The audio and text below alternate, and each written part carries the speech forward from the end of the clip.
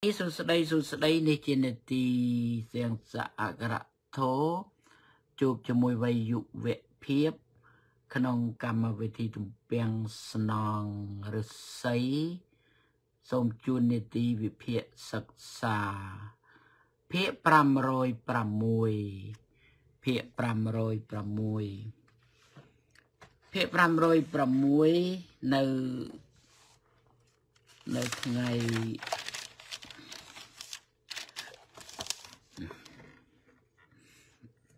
នៅថ្ងៃ6កើតខែផ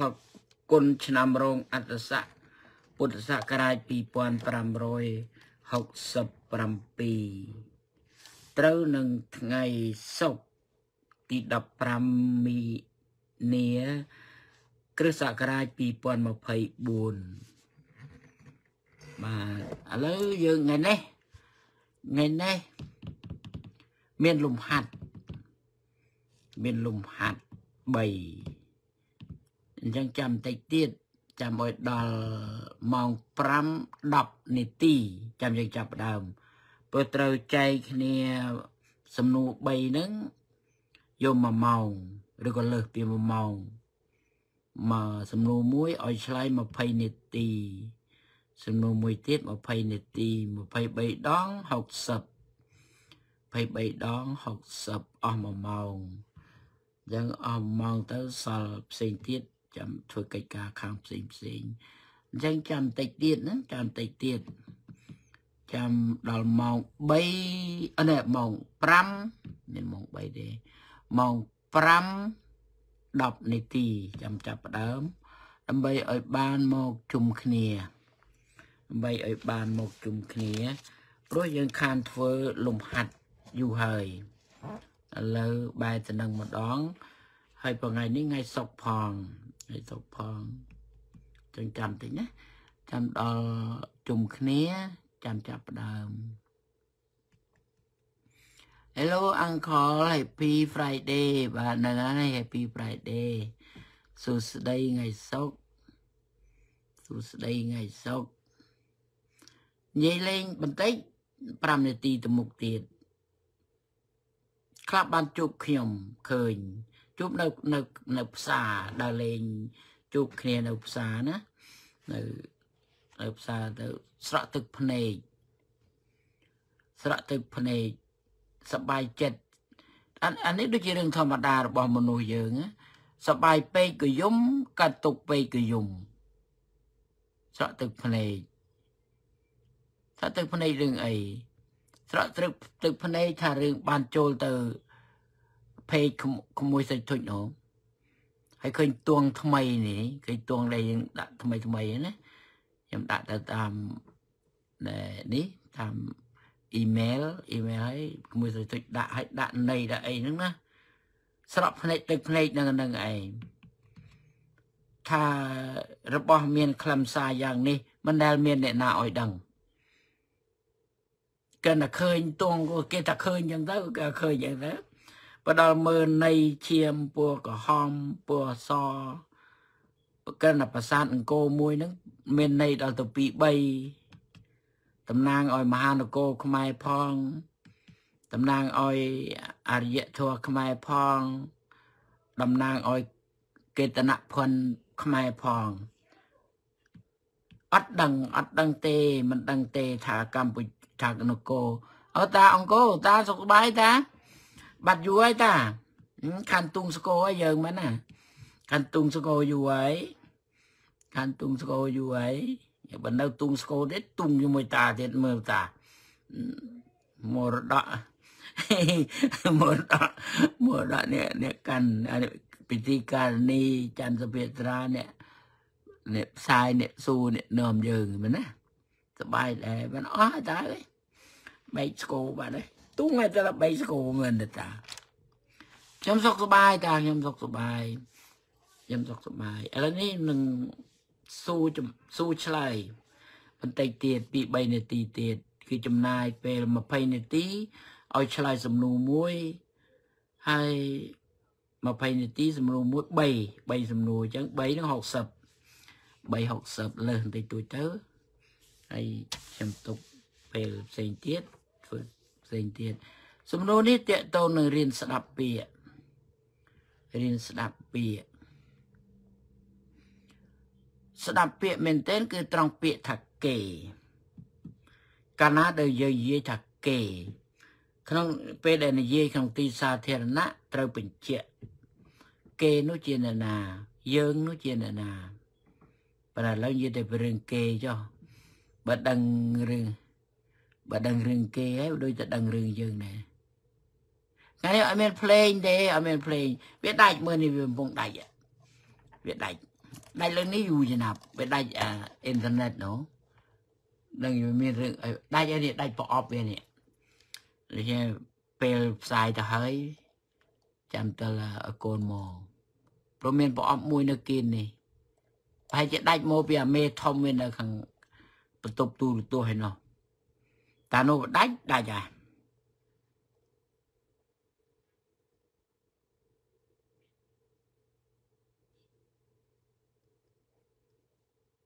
ពោះង៉ែតណាពោះង៉ែត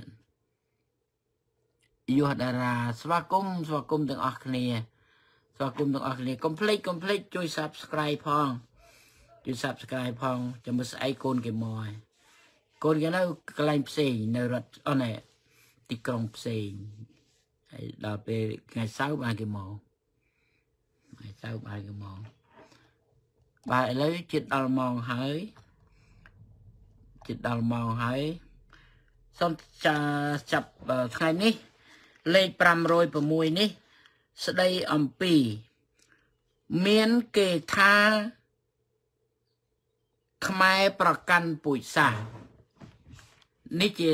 ចំណោទមានគេថា ខ្មែរប្រកាន់ពូជសាសនេះជាចំណោទមកបន្ទាត់ប៉ុណ្ណឹងហើយយើងបំបែកមកបន្ទាត់ហ្នឹងឲ្យទៅជាសំណួរយើងចេះស្ដាប់យើងចេះបង្កើតសំណួរតាមចំណោទអំបញ្ញមិញនិយាយថា មានគេថាខ្មែរប្រកាន់ពូជសាស យើងឮពាក្យថាគេ យើងឮពាក្យថាគេ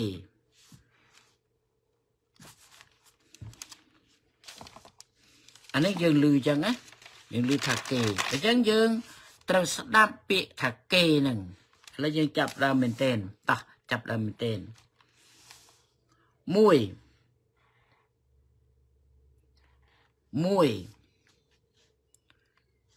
1មាន គេជេឌីល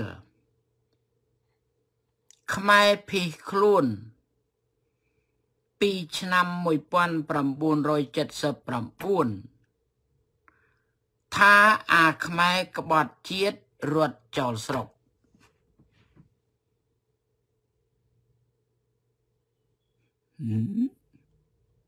អូហាត់ដែរឡំដែរ គេថាអាខ្មែរក្បត់ជាតិរត់ចោលស្រុកនេះអ្នកណាស្លាប់នៅ ព្រំដែន កាលពេលនឹងលឹងឬខ្លួនឯងហើយចឹងទី1សួរថាតើគេនោះជាអ្នកណាព្រោះគេថាខ្មែរក្បត់គេថាអាខ្មែរក្បត់ជាតិរត់ចោតស្រុកសួរតើគេនោះជាអ្នកណា ព្រោះបើវាជាខ្មែរអ្នកដែលថាដែលយើងថាគេនោះណាបើវាជាខ្មែរវាមិនដែលថាអាខ្មែរកើតទេព្រោះវាខ្មែរដែរមិនក៏មកថាអញ្ចឹងដូច្នេះយើងរមើសួរតើគេនោះជាអ្នកណា ជាខ្មែរឬជាបរទេសចឹងដល់ពេលឆ្លើយដាក់សំណួរទី1ដាក់លេខ1 ឆ្លើយថា ជាខ្មែរបើថាខ្មែរខ្មែរតែពោះសំណួរនេះមានឬនៅកណ្ដាលបើមានឬនៅកណ្ដាលបើមានឬបើមានឬនៅកណ្ដាលអត់ត្រូវឆ្លើយបាទឬទេទេចាំបើបើជាស្អីថានឹងទៅម្ដងបើចឹងចម្លើយទី1ឆ្លើយថាបើខ្មែរថាខ្មែរបើបរទេសថាបរទេសតែប៉ុណ្ណឹងអត់បាក់អត់បាក់បញ្យលអីទេ ចឹងម្ដងទៀតពីឆ្នាំ79ខ្មែរភីខ្លួនគេថាអាខ្មែរក្បត់ជាតិរត់ចោលស្រុកតើគេនោះជាអ្នកណា ជាខ្មែរឬជាបរទេសឆ្លើយឆ្លើយចុះណាឆ្លើយបន្តបន្តគ្នាទៅឆ្លើយបន្តបន្តគ្នាទៅ បើខ្មែរថាខ្មែរឆ្លើយដោយខ្លួនឯងអត់មានអត់មាន ចាំខ្លាចអ្នកនេះខ្លាចអ្នកនោះអីទេឆ្លើយទៅខ្ញុំដឹងហើយអ្នកចម្លើយនឹងអាចអ្នកអ្នកដែលឆ្លើយនឹងធ្វើឲ្យខ្ញុំដឹងអ្នកនោះជាខ្មែរឬជាបរទេសខ្ញុំដឹងនឹងចម្លើយនឹងដូច្នេះឆ្លើយទៅណាឆ្លើយខ្លួនឯងទៅតើជាខ្មែរឬជាបរទេសហើយខ្ញុំឆ្លើយឲ្យដល់20នាទីឆ្លើយចុះណាឆ្លើយចុះបន្តបន្តទៅខ្ញុំផ្អាកនិយាយ ជាយួនអានេះយើងចេះឆ្លើយយើងដឹងរឿងនិយាយរៀនស្ដាប់ពាក្យគេតើគេនោះជានរណាព្រោះមានគេជេរចឹងឯងអាខ្មែរភីខ្លួនក្បត់ជាតិរត់ចូលស្រុកគ្នាភីខ្លួនសោះហ្នឹងគេថាអាខ្មែរក្បត់ជាតិរត់ចូលស្រុកអញ្ចឹងពាក្យថាគេហ្នឹងអ្នកណាជាជាខ្មែរឬជាបរទេសអានឹងដាក់លេខ1ផងណាដាក់លេខ1ផង ដាក់លេខមួយសំណួរទី1ឬក៏ថាចម្លើយទី1ណាបរទេសបរទេសបរទេសយើងរៀនដើម្បីដឹងព្រោះយើងគ្រោះថ្នាក់នឹងអត់ដឹងគ្រោះថ្នាក់នឹងយើងអត់ដឹងស្អីជាស្អីគេបន្លំគេបន្លំខ្ចីមាត់ខ្មែរឲ្យខ្មែរជេរខ្មែរស្លឹកថ្នោតខ្ចប់ស្ករថ្នោតហើយខ្មែរអត់ដឹងចេះតែពឺតាមគ្នាចឹងទៅ ខ្មែរហៅតាមយួនអីគេតើគេនោះជាអ្នកណា ជាខ្មែរឬជាបរទេសបាទសូមក្មួយក្មួយបងប្អូនដែលទៅមកក្រោយធ្វើលំហាត់លំហាត់ទី1ហាត់ទី1ស្ដីអំពីថា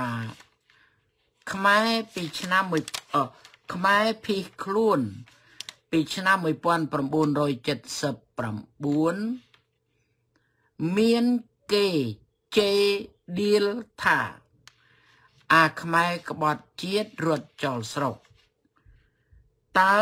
គេនោះជាអ្នកណា ជាខ្មែ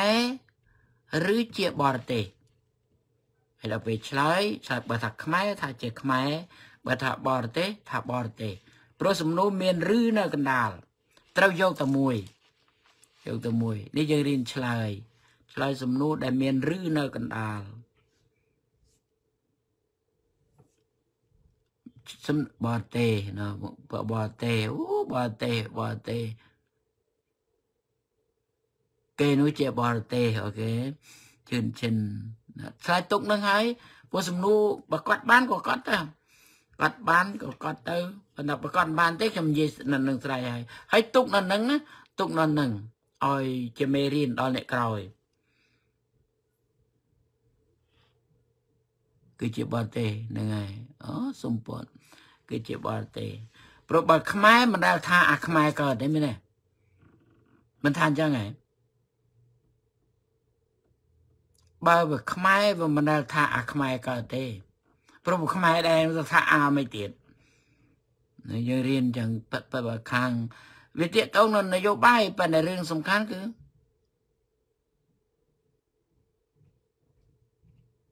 យើងរៀនពាក្យរៀនពាក្យខាង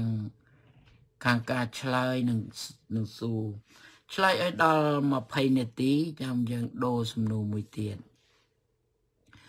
ដល់ស្រេតអូមកតើមកតើឆ្លើយបានទុកហើយណាឆ្លើយនឹងទុកហើយណាឆ្លើយនឹងទុកឆ្លើយនឹងទុកឆ្លើយទុកកុំកុំកុំលុបកឹមណាណាសុភឹមភឹមកឹមហ៎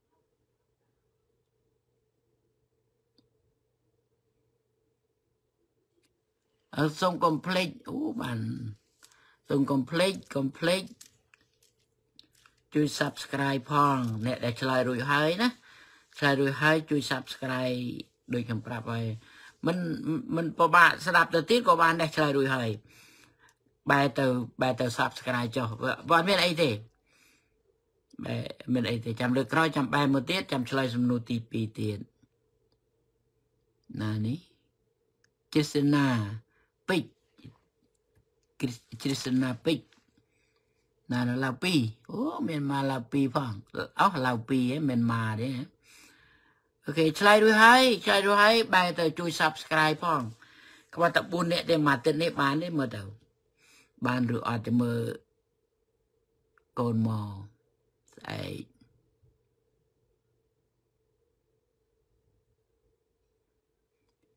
អូ មែនមែន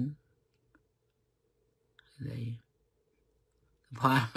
ផលចង់ចូលរួមបាទទេបងអរគុណអរយ៉ាងម៉េចហើយណែអ្នកចាត់ការខាងចម្រៀងខ្ញុំខាងទងជាមួយក្មួយសៃធុចអានឹងចប់ហើយចប់ហើយនៅខាងចម្រៀងណា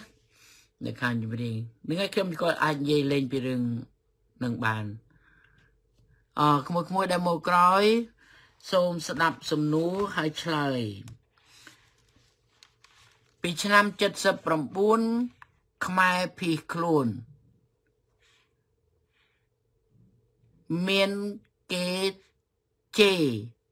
ឌីលថាអាខ្មែរក្បត់ជាតិរត់ចោលស្រុកតើពាក្យថាគេនោះជាអ្នកណា ជាខ្មែរឬជាបរទេស នេះនេះឆ្លើយសំណួរដែលមានឬនៅកណ្ដាលចាំបើថាខ្មែរថាខ្មែរទៅបើថាបរទេសថាបរទេសទៅថាតែមួយព្រោះសំណួរសំណួរនេះមានឬនៅកណ្ដាលដូចខ្ញុំថាបរទេសអើដៃបរទេសដូចខ្ញុំថាឲ្យកូនទៅយកបថៅឬញញូចឹងកូនអាចយកបថៅក៏បានអាចយកញញូក៏បានតែយកតែមួយទេនេះក៏ដូចគ្នានេះក៏ដូចគ្នា បរទេសបងកសៃបរទេសបើបើខ្មែរបើមិនដឹងថាអាខ្មែរកើតទេមែនទេព្រោះឪវាខ្មែរដែរតាមិនចឹងឪវាខ្មែរដែរតាមិនក៏ថាអាអញ្ចឹងមិនថាអាឪហើយអញ្ចឹងឯណាតាងគោតាងគោខ្ញុំទុងស្គរជំនិនទុងស្គរដេញចោលលួចជាតិណាតើយើងឈប់ ដល់ហើយអត់ដល់កុំប្រញាប់ណាកុំប្រញាប់រឿងចម្រៀងមុនដំបងធ្វើអញ្ចេះមុនដំបងប៉ុន្តែនេះខ្ញុំនិយាយសម្ដៅទេខ្ញុំមិនចង់និយាយរឿងអ្នកនៅក្នុងកន្ត្រកទេខ្ញុំមិនចង់និយាយនៅអ្នកនៅក្នុងកន្ត្រកទេព្រោះខ្ញុំដឹងថាកន្ត្រកវាជាងអៀតអញ្ចឹងខ្ញុំនិយាយសម្ដៅទៅលើក្មួយក្មួយដែលនៅខាងក្រៅព្រោះទូលាយទូលាយគ្រប់យ៉ាង ក្នុងក្នុងពេលដែលធ្វើយើងយើងមានបត់ហើយក្មួយសនុដាក់ហើយណាក្មួយសនុដាក់ហើយចំណាំបត់នឹងទុករសាបត់នឹងថតចន្លងបត់នឹងទុកត្រង់ណាទៅណាទុកតាមបច្ចេកទេសទៅឥឡូវដល់ហើយណាដល់20នាទីហើយណាដល់20នាទីហើយអោចាប់ប្រឡងសិនណាអូប៉ុន្តែគិតមើលផងណាគិតមើលសុកទុកផងណា គិតមើលសុកទុកផងអត់មានអ្នកណា ដឹងរឿងសុកទុកទេខ្ញុំពិបាកចិត្តអារឿងហ្នឹងឯងពិបាកចិត្តពពុកនឹងគេគេរោថាចេះចុះទៅស្អែកគេថាស្អែកគេថាគេស្អប់យើងគេថាអីក៏សមដែរជាងសំឡងអូខេឥឡូវដល់20ហើយ5 20ហើយ បានន័យថាយើងឆ្លើយបាន20នាទីហើយអញ្ចឹងបញ្ចប់ត្រង់ហ្នឹងត្រឹមសំណួរទី1ចប់ត្រឹមហ្នឹងត្រឹមសំណួរទី1ចូលដល់សំណួរទី2អឺដល់ពេលឆ្លើយមិនចេះខុសគ្នាប្រហែលទេ សំណួរទី2លើកមុន មានគេថា ខ្មែរប្រឡ័យពូជសាសខ្មែរនេះចំណងជើងដែលយើងនិយាយថ្ងៃនេះគឺមានគេថាខ្មែរប្រកាន់ពូជសាសខ្មែរណាអានេះចំណងជើងធំឥឡូវនេះចូលដល់សំណួរទី2លើកមុនមានគេថាខ្មែរប្រឡ័យពូជសាសខ្មែរតើដូចគ្នាតើគេនោះជាអ្នកណា ជាខ្មែរឬជាបរទេសដូចគ្នាសូមបុនធឿនសូមបុនធឿនសូមស្វាគមន៍សូមបុនធឿនឆ្លើយសំណួរគេណាមកមកក្រោយគេក្រឡូមិនមិនឆ្លើយមិនទាន់ឥឡូវសំណួរទី2លើកមុន មានគេថាខ្មែរប្រឡ័យពូជសាសខ្មែរនេះសំណួរទី2ណាដាក់លេខ2ផង លើកមុន មានគេថាខ្មែរប្រឡ័យពូជសាសខ្មែរតើគេនោះជាអ្នកណា ជាខ្មែរឬជាបរទេសបើថាខ្មែរដាក់ខ្មែរថាបរទេសដាក់បរទេសដូចលើកមុនអញ្ចឹងដូចលេខ1អញ្ចឹងអូខេកុំភ្លេចលេខណាកុំភ្លេចលេខលេខ2គឺសំណួរទី2លេខ1គឺសំណួរទី1ឥឡូវខ្ញុំនិយាយឆ្លៀតទៅនិយាយពីរឿងច្រៀង រៀនច្រៀងរៀនច្រៀងហ្នឹងធ្វើអញ្ចឹងដូចថាមានគ្នា4 5នាក់ទី1ត្រូវយកពាក្យពីពាក្យដែលដែលដែលក្មួយស្រីទុយវាយដែលក្មួយស្រីទុយវាយបាត់ពាក្យចម្រៀងណាហើយពាក្យចម្រៀងឲ្យឲ្យក្មួយសារ៉េតក្មួយក្មួយសារ៉េតអ្នកដែលអ្នកដឹងអ្នកចាំនោះណាអ្នកចាំនឹងមើលពាក្យនឹងឲ្យជាក់លាក់មើលពាក្យនឹងឲ្យជាក់លាក់ កុំឲ្យដល់រៀនទៅស្រាប់ថាពាក្យកណ្ដាលការឲ្យបានថាអូខុសស្នេះខុសស្នោះកុំធ្វើអញ្ចឹងមើលពាក្យនឹងឲ្យហើយមើលពាក្យពេចឃ្លៀងខ្លងឃ្លាអីឲ្យស្រេចបើស្រេចថាអូខេត្រូវហើយយកនឹងសម្រេចយកនឹងហើយអញ្ចឹងដាក់នឹងមកដាក់នឹងមកអ្នកណាចង់បង្ហាត់យកចេញពីនឹងយកចេញពីនឹងអត់ខុសទេកុំយកពីផ្សេងយកពីនឹងមកកាន់អានតែម្ដងកុំយកផ្សេងនេះចំណាំជីវៀងបញ្រៀនទៅខុសគ្នា ចឹងយកតែមួយអត់ខុសគ្នាទេយកចេញពីប្រភពតែមួយអត់ខុសគ្នាទេអញ្ចឹងឲ្យក្មួយមួយសារ៉េតមួយសារ៉េតអ្នកខាងកោសនិកហ្នឹងពិនិត្យពិនិត្យអត់អពាក្យហ្នឹងយកបានពាក្យហ្នឹងហើយយកមកបង្រៀនច្រៀងខ្ញុំធ្លាប់ដែរនៅព្រៃម៉ាគី មានអីយើងយើងអត់មានអីណាម៉ែមកឯណាយើងអត់មានអី ច្រៀងល្អណាច្រៀងម៉ងសុងភ្លើងម៉ងសុងភ្លើងចង្គៀងមានដីសក៏ដល់នៅដីសខ្លះចិននៅសល់ដែរនោះមានដីសហើយនៅផ្ទះខ្ញុំហ្នឹងមានប៉ុស្មានខ្សែប៉ុស្ប៉ប៉ុស្រត់បាត់ទៅមេប៉លិសរត់បាត់ទៅយើងយកប៉ុស្ណៃរំភ្លៀងមិនក៏រំកើតដែរហើយក្តារខៀនយកក្តារខៀនមកទៅសេចម្រៀងនឹងឯង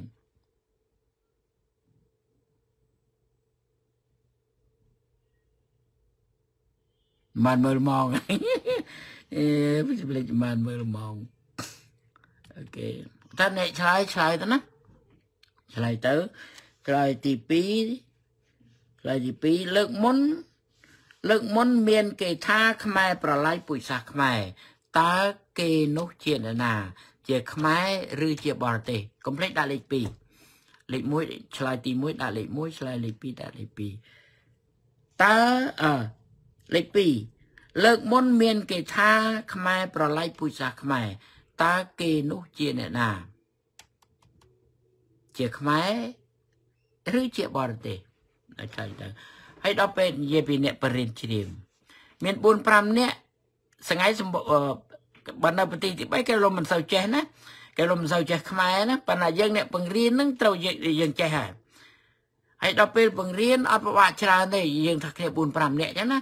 គ្នា4 5នាក់ចឹងដល់ពេលយើងចាប់ច្រៀងកុំចាប់ច្រៀងទៅម្ដងកុំចាប់ច្រៀងទៅម្ដងចាប់ធ្វើលំនាំធ្វើលំនាំមិនមែនច្រៀងទេលំនាំមិនមែនច្រៀងទេធ្វើលំនាំធ្វើលំនាំធ្វើលំនាំឲ្យថាតាមតាមលំនាំនឹងសិនថាម្ដងមួយវគ្គទេកុំថាទាំងអស់ កុំថាទាំងអស់យើងយើងនេះនេះយើងមានកដាគេថាក្រោកឡើងអស់អ្នកខ្ញុំគេទាំងប៉ុនបានថាតែអញ្ចឹង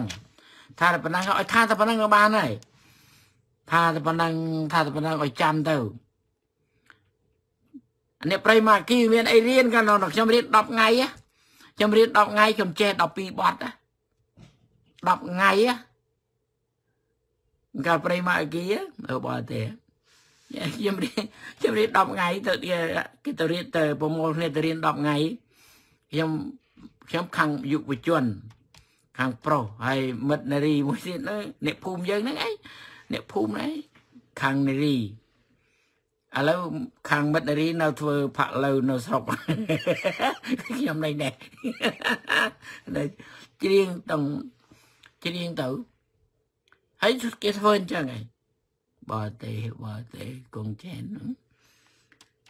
ហើយដល់ធ្វើមកវគ្គមកវគ្គឲ្យដូចនិយាយក៏ដល់ចុះប៉ុន្តែឲ្យលំនាំវាលំនាំអញ្ចឹងណាលំនាំមើលតែចាំហើយបានយើងចាប់ច្រៀងចាប់ច្រៀងបន្តវាបន្តវាម្ដងពីរម្ដងពីរម្ដងពីរវគ្គម្ដងពីរវគ្គម្ដងវគ្គលឿនណាស់លឿនលឿនសាហាវមកព្រោះព្រោះចេះលំនាំហើយព្រោះចេះលំនាំហើយ កុំរៀនច្រៀងតែម្ដងណាខ្ញុំសូមប្រាប់តែកុំរៀនច្រៀងទាំងម្ដង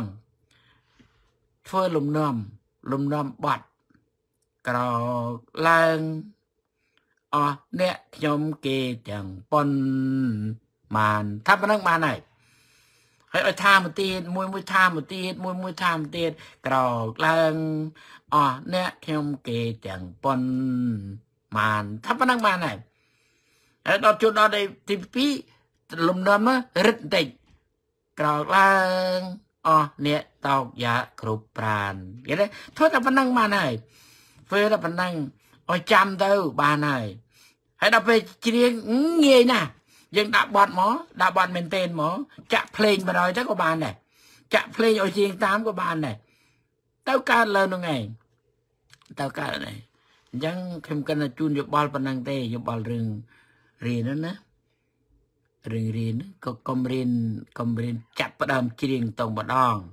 ក៏ប៉ុណ្្នឹងនេះរៀនជាលំនាំបត់សិនថាលំនាំបត់សិនដល់ចាំចាំចាំពាក្យហើយដល់តែយើងភ្ជាប់បត់ងាយកាលនោះខ្ញុំរៀន10 10ថ្ងៃខ្ញុំរៀន10ថ្ងៃ10ថ្ងៃចេះចេះ12បត់10ថ្ងៃគេភ្ជាប់ចេះអីមានវិធីគេ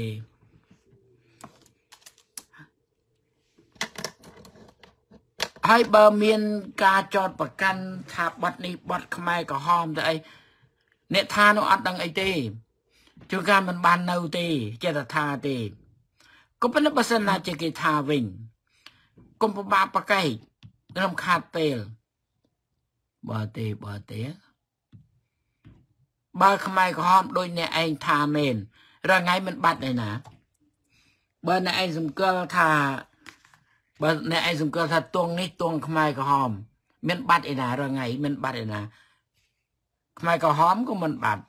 ខ្មែរតាសឿនសាំងក៏មិនបាត់ខ្មែរហ្វុនសិនពេជ្រក៏មិនបាត់ខ្មែរអាយ៉ងក៏មិនបាត់ព្រោះណៃណាវានៅក្នុងឧត្តមក្រុមប្រឹក្សាហើយនៅទីខ្ពស់ក្នុងឋានៈជាអ្នកបង្កើតកិច្ចព្រមព្រៀងប៉ារីសនោះទៀតដូច្នេះកុំប្របាក់តវ៉ាមានខអី ពួកនឹងនៅតែនៅតែជាអ្នកដឹកនាំខ្មែរដដែលតាទាំង4នឹងចាក់តុភេគីនឹងអាហ្នឹងទៅប៉ុណ្ណឹងបានហើយយើងធ្វើការយើងតទៀតសវណ្ណសុខអានេះបើមានទេណាបើមានកុំប្របាកយើងធ្វើការជួនកាលវាមានវាមានអាចន្រងចន្រាស់មកវាធ្វើឲ្យយើងទុចដំណើរណាធ្វើឲ្យយើងទុចដំណើរតែយើងដឹងកលឹះអត់ទុចទេព្រោះរឿងអន្តរជាតិតា ព្រោះខ្មែរសពថ្ងៃនៅក្នុងអន្តរជាតិតារឿងអីដែលខ្មែរនៅអន្តរជាតិមិនកើតនោះមានស្រេចហើយតា គេទទួលស្គាល់ជាអន្តរជាតិហើយតាបើកុំអន្តរជាតិទទួលស្គាល់ស្មានតែមានកិច្ចព្រមព្រៀងប៉ារីសអញ្ចឹងនឹងទៅឲ្យប្រឆាប់ចប់ចាប់ចប់អូខេឥឡូវសំណួរទី2សំណួរទី2នៅសល់9នាទីទៀតមួយមួយដែលទៅមកដល់ មួយមួយដែលមកដល់សូមឆ្លើយសំណួរទី2ទី2លើកមុនមានគេថាខ្មែរប្រឡ័យពូជសាសខ្មែរតើគេនោះជាអ្នកណាជាខ្មែរឬជាបរទេសទីមួយយើងបកស្រាយអំពីពាក្យថាគេមិនចឹងយើងរៀននេះឆ្លើយនេះអំពីពាក្យថាគេ ក៏ជាការប្រាប់ដល់អ្នកដែលតែងប្រើពាក្យគេនោះផងដែរដែលថាគេគេនោះអ្នកណាត្រូវប្រាប់ក្នុងក្នុងការនិយាយនឹងត្រូវប្រាប់អ្នកសម្ភាសក្នុងទូរទស្សន៍ក្នុងអីក៏ដោយគេគេនឹងត្រូវបកស្រាយគេនោះជាអ្នកណាបើចេះបកស្រាយពាក្យគេក៏ត្រូវតែបកស្រាយពាក្យយើងដែរជួនកាលគេគេស៊ូគេស៊ូមនុស្សផ្ទាល់ខ្លួនសោះ បែរជាអ្នកឆ្លើយនោះទៅតឹងទឹះឆ្លើយថាយើងឆ្លើយថាយើង វាខុសតាំងពីប្រើពាក្យមួយម៉ាត់ហ្នឹងណាអត់ចេះស្ដាប់ខ្មែរទេ ក្នុងភាសាអង់គ្លេសគេច្បាស់លាស់ណាស់បើស៊ូយូឆ្លើយអាយបើស៊ូអាយឆ្លើយយូនេះអង់គ្លេស តែមិនដឹងជាចង្រៃអីខ្មែរខ្លះបើគេស៊ូលោកដែលដែលអង្គុយនិយាយនោះដែលលោកនោះបែរជាឆ្លើយយើងចឹងយើងនេះវាដោយទាំងអ្នកណាខ្លះវាដោយទាំងអាអ្នកស៊ូហ្នឹងណាខ្មែរអត់ទាន់ចេះឆ្លើយទេអស់លោកគិតយ៉ាងម៉េចអូយើងគិតថាគេស៊ូលោកឯងគេមិនស៊ូយើងទេណាគេមិនស៊ូពួកលោកឯណា មិនក៏មកឆ្លើយយើងយើងបានន័យថាចាប់ពី2នាក់ឡើងទៅចាប់ពី2នាក់ឡើងទៅអត់ចេះស្ដាប់ខ្មែរទេស៊ូតន្តិចសោះឆ្លើយចង់កន្លះម៉ោងអត់អត់ទៅចប់ស៊ូតន្តិចសោះហ្នឹងស៊ូនេះស៊ូយកម៉ោងមកឲ្យអាអ្នកស៊ូនឹងបានប្រាក់ម៉ោងមកណាវាអត់បានប្រយោជន៍បើគេស៊ូយូឆ្លើយអាយបើគេស៊ូអាយឆ្លើយយូ ជ្រាបសួរអំបាទអំសុខសប្បាយទេវីអំសុខសប្បាយឆ្នាំស៊ូយូឆ្លើយអាយស៊ូអាយឆ្លើយយូនេះដូចគ្នាគេ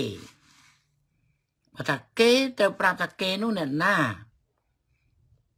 ឲ្យឆ្លើយរឿងគេនោះផង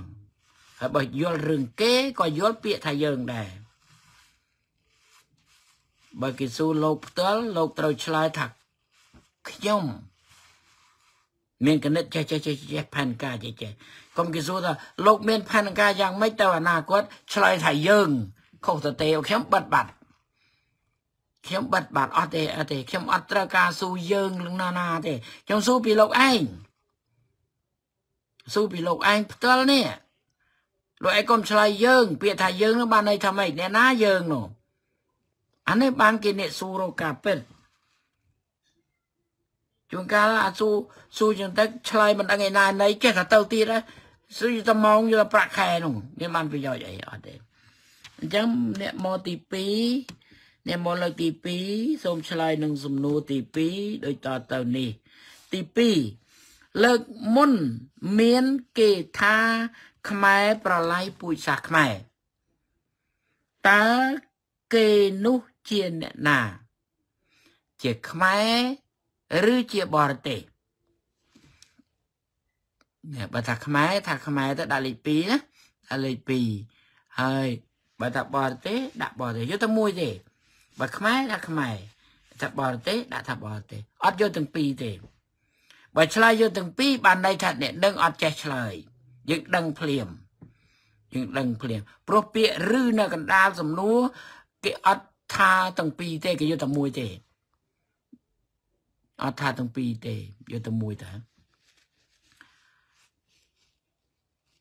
បាទឥឡូវអ្នកឆ្លើយហើយអ្នកឆ្លើយហើយក៏ឆ្លើយហើយចាំបកមកវិញលើកទី3ប៉ុន្តែសូមកុំភ្លេចសូមកុំភ្លេច Subscribe ផងព្រោះថ្ងៃនេះថ្ងៃសុកហើយហើយចាំមើលស្អែកគុណខ្ញុំមកបើគ្រប់ចំនួន គេនឹងដាក់ឲ្យផ្សាយទាំង YouTube ផ្សាយទាំង Facebook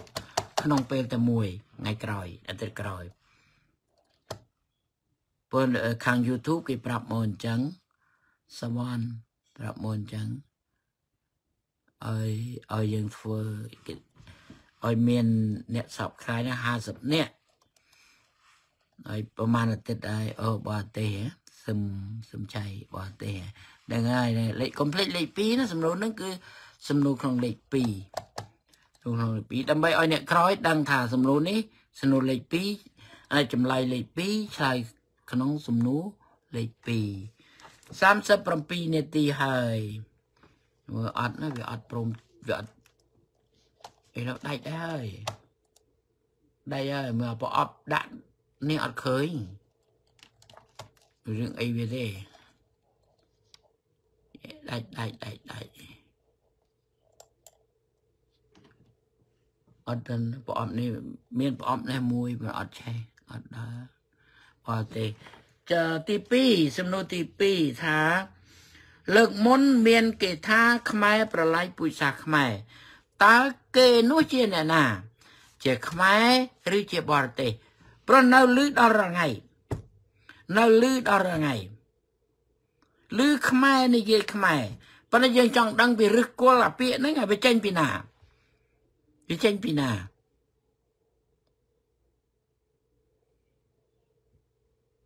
ប៉ុនប៉ុនអូខេវាចេញពីណាពាក្យនេះវាចេញពី7មករា79គឺចេញពីកងទ័ពយួនវាយយកបានភ្នំពេញវាអត់មានខ្មែរណាមកវាយយកភ្នំពេញទេ វាអត់មានខ្មែរណាមកវាយរំលំរបស់ប៉ុលពតទេ វាអត់មានទេខ្មែរណាមិនដឹងខ្មែរហេសម្រិនខ្មែរអីនេះវាមិនអ្នកច្បាំងវាមិនអ្នកអីទេវាគ្មានដឹងអីទេវាគ្មានដឹងអីទេលើកលើក អីអ៊ូតអីដេញវាយរបស់ប៉ុលពតអីមានរបស់ប៉ុលពតពីកាលណាអត់ទេនេះដែលយើងត្រូវរងរឹសគល់វាជាទុនវាជាទុនក្នុងការឡើងលើឆាកអន្តរជាតិគឺយើងត្រូវដឹងយ៉ាងខ្ញុំធ្វើនេះធ្វើឲ្យដឹងឲ្យក្មួយក្មួយរៀនកាន់កាប់វាសនាជាតិខ្លួនដោយខ្លួនឯងគឺរៀនដឹងនៅបញ្ហាជាកន្លឹះប្រសពថ្ងៃមានពួកចារកិច្ចវាផ្សព្វផ្សាយពង្រៀងដានច្រើនណាស់អឺ ទី2ពីសំណួរទី2ណាលើកមុនមាន គេថាខ្មែរប្រឡាយពូជសាសន៍ខ្មែរតើគេនោះជាអ្នកណា ជាខ្មែរឬជាបរទេស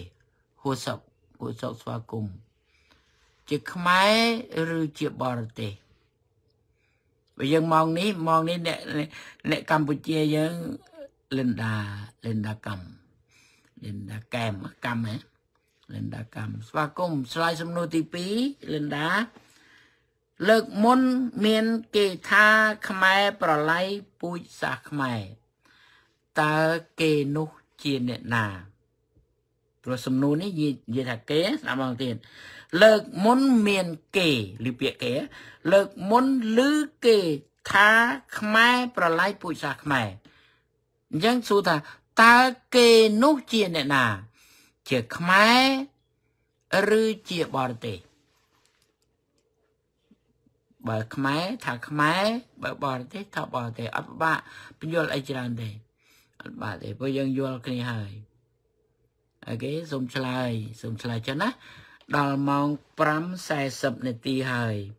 នៅសល់មួយសំណួរទៀតគ្រាន់តែឆ្លើយ3សំណួរនេះចំណាយពេល1ម៉ោងដើម្បីឲ្យក្មួយអ្នក កូនចៅយើងចំនួនក្រោយ ទំពាំងចំនួនក្រោយ គ្នាដឹងផងគ្នាដឹងផងព្រោះសងាយសម្បូរតែដឹងអត់ដងសម្បូរតែដឹងអត់ដង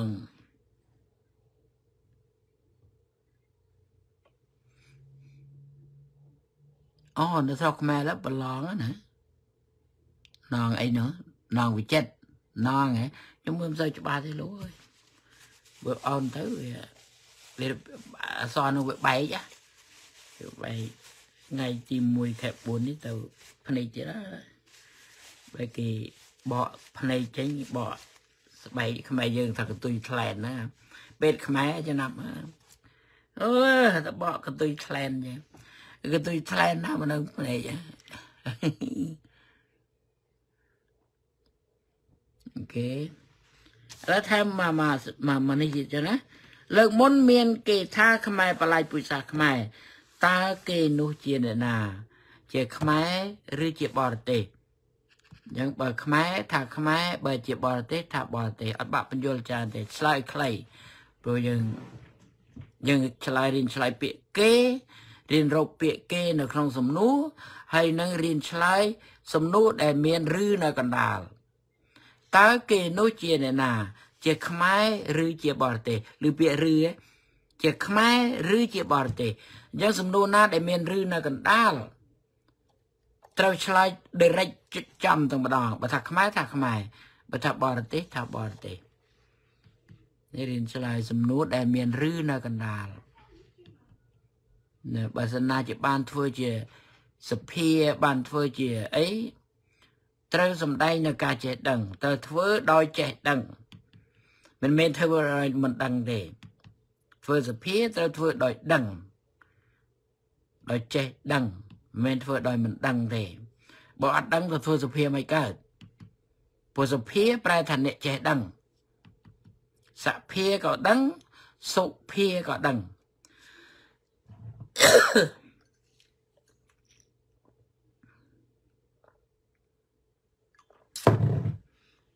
អូខេឥឡូវបញ្ចប់សំណួរទី2សៅគឹមចប់សំណួរពីទី2ចូលទៅសំណួរទី3សំណួរទី3នេះទៅឲ្យដល់ម៉ោង6ឬលើតិចតួចសំណួរទី3លើកនេះលើកមុនផ្សេងណាលើកមុនផ្សេងហើយឥឡូវលើកនេះសំណួរទី3 លើកនេះគេថាខ្មែរប្រកាន់ពុយសាសលើកនេះគេថាខ្មែរប្រកាន់ពុយសាសតើគេនោះជាអ្នកណា ជាខ្មែរឬជាបរទេសហើយគេថាខ្មែរប្រកាន់ពុជសាស តើគេនោះជាអ្នកណា ជាខ្មែរឬជាបរទេសមេកៀង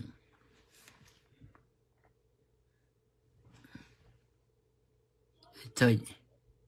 ជាបរទេសមួយពុនគៀងបរទេសលើកនេះគេថាខ្មែរប្រកាន់ពុជសាសតើគេនោះជានរណា ជាខ្មែរឬជាបរទេស បរទេសបរទេសឧត្តមភ័យបរទេសបើបើខ្មែរប្រកាន់ពុយសាខុសមិនចឹងហ៎តែបើសង្គ្រាមនេះជាសង្គ្រាមអីសង្គ្រាមប្រឡាយពុយសាបើគេប្រឡាយពុយសាខ្មែរអត់ខុសទេមែនណាតែបើខ្មែរនិយាយថាខ្មែរប្រកាន់ពុយសាថាខ្មែរខុសបើគេមកប្រល័យពូជសាសន៍ខ្មែរអានឹងអត់ខុសទេ មិនថាចុះហ៎ OK ទៅគឹម OK OK អ្នកដែលឆ្លើយហើយសូមសូមបែរទៅ Subscribe ផងណាខ្ញុំគាត់តែ4នាក់ទេប៉ុន្តែប្រហែលមួយទឹកមកហើយមួយទឹកហើយប្រហែលជាគ្រប់ហើយដឹងចាំមើលស្អែកស្អែកមើលស្អែកដែរជាបរទេសគឹមពៅជាបរទេសលើកនេះ មាន គេថាខ្មែរប្រឡាយពុសា ដោយក្រាន់តែនិយាយពាក្យថាយួនពាក្យថាអីហ្នឹងគេថាប្រឡាយពុសាគុកលើកនេះគេថាខ្មែរប្រឡាយពុសាខ្មែរលើកនេះគេថាខ្មែរប្រឡាយពុសាមិនខ្មែរទេលើកនេះគេថាខ្មែរប្រឡាយពុសា ដូចជាមានខ្មែរខ្លះថាយួនថាអីនេះគេមិនត្រូវទេវាត្រូវហៅវៀតណាមហើយថាយួនថាអីនេះវាធ្វើឲ្យខ្មែរបបះបោធ្វើឲ្យខូចបរិយាកាសសង្គមអីគេនោះគេចាប់ដាក់គុកបានសេចក្តីថា លើកនេះគេថាខ្មែរបល័យពុសាតើគេនោះជាអ្នកណា ជាខ្មែរឬជាបរទេសសូមឆ្លើយដូចមុន បើខ្មែរថាខ្មែរនេះលេខ3ណានេះលេខ3 បើខ្មែរថាខ្មែរបើបរទេសថាបរទេសហើយយើងគិតយើងគិតមើលរឿងដែលឆ្លងកាត់មកហើយសង្គ្រាមនេះជាសង្គ្រាមអី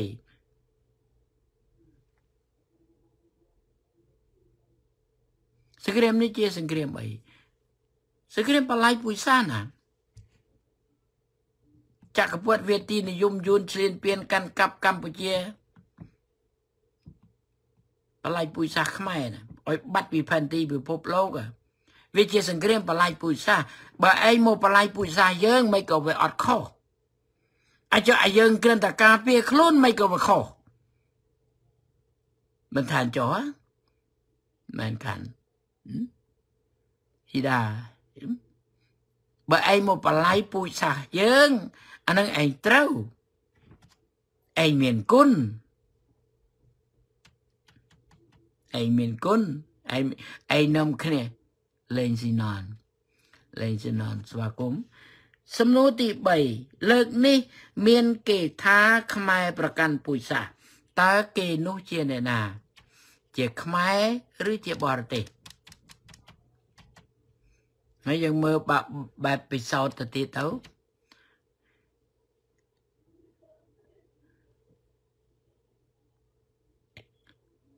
អូទនលេប01ហ៎អីណាណា01 01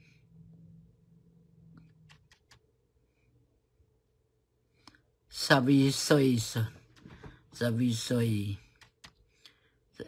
លៀប01សុខសบายសុខសบายលៀប01ឃើញនៅក្នុងសម្រងពួរអសម្រង វិជ្ជាករខ្មែរ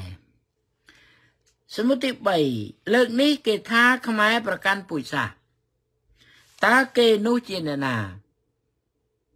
ជាខ្មែរឬក៏ជាបរទេស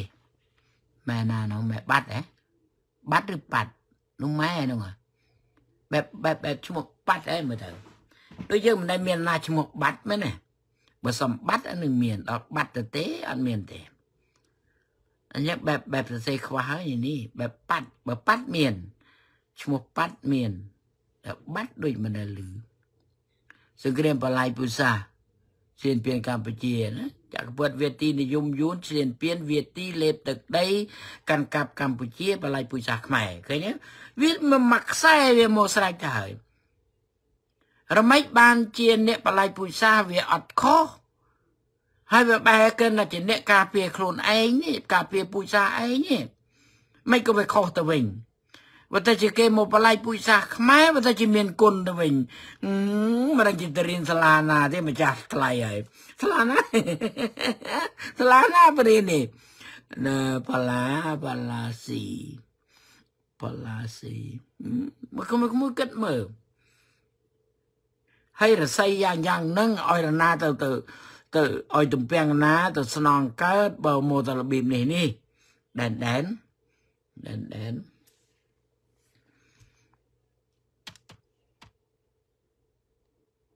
សាលា CPP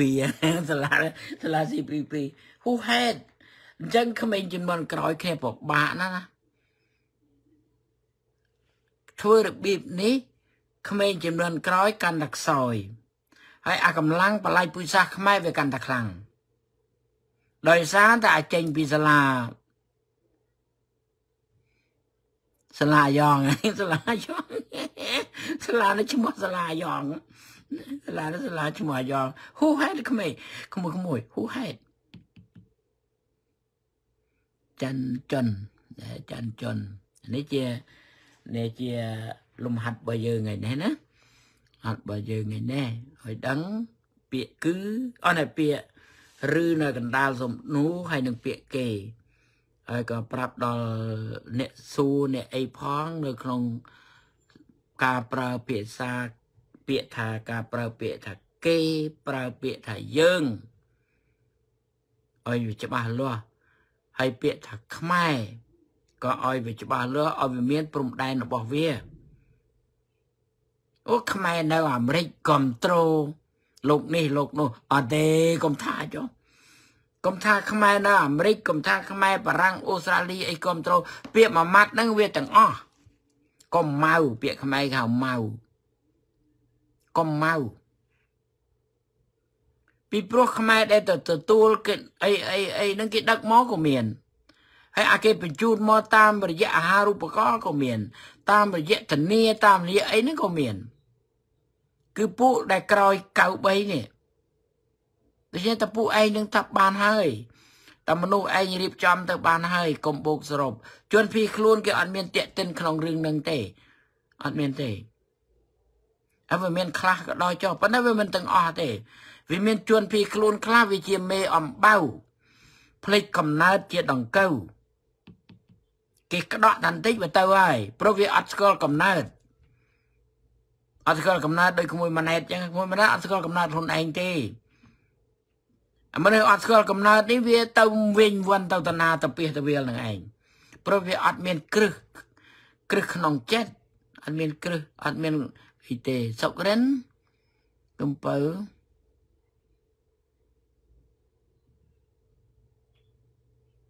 អូសំណួរទាំង3ហ៎អានេះគេថាសំណួរទាំង3មានពាក្យទាំង3ទេ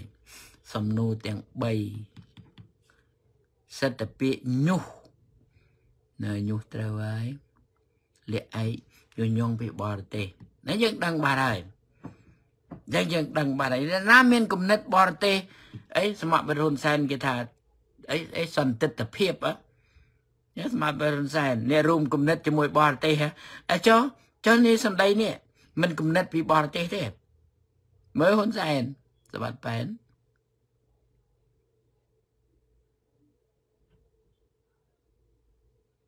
អូខេចោតគេថាសន្តិទ្ធភាពជាមួយបរទេសជួយឯងទន្ទិញធัวបរទេស30 40ឆ្នាំមកនេះអានឹងមិនមិនមិនក្បត់ជាតិទេកម្មសខាទៅទៅទៅតណានោះទៅនិយាយតណានោះថាក្បត់ជាតិដោយសាររួមគំនិតជាមួយបរទេសហើយចុះខ្លួនឯងនេះបើមិនអោយពឹងចិនពឹងអ្នកណា អានឹងមិនបរទេសសនួរនៅទី1គឺយួន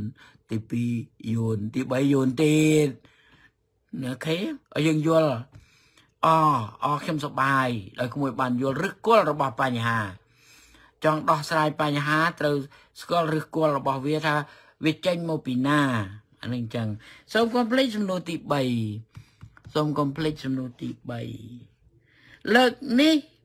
មានគេថាខ្មែរប្រកាន់ពុយសាសតើគេនោះជាអ្នកណា តើគេនោះជាអ្នកណា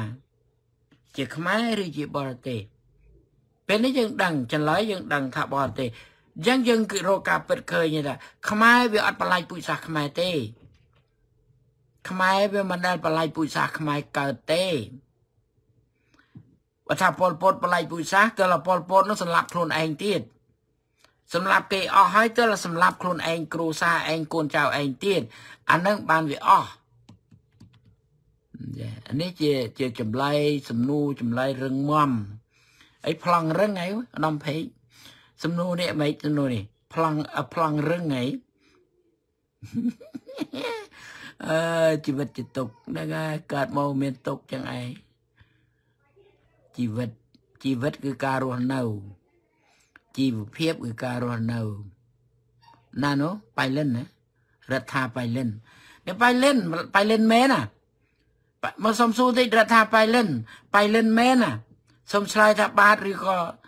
អត់ទេទៅបាននៅបៃលិនមែនណា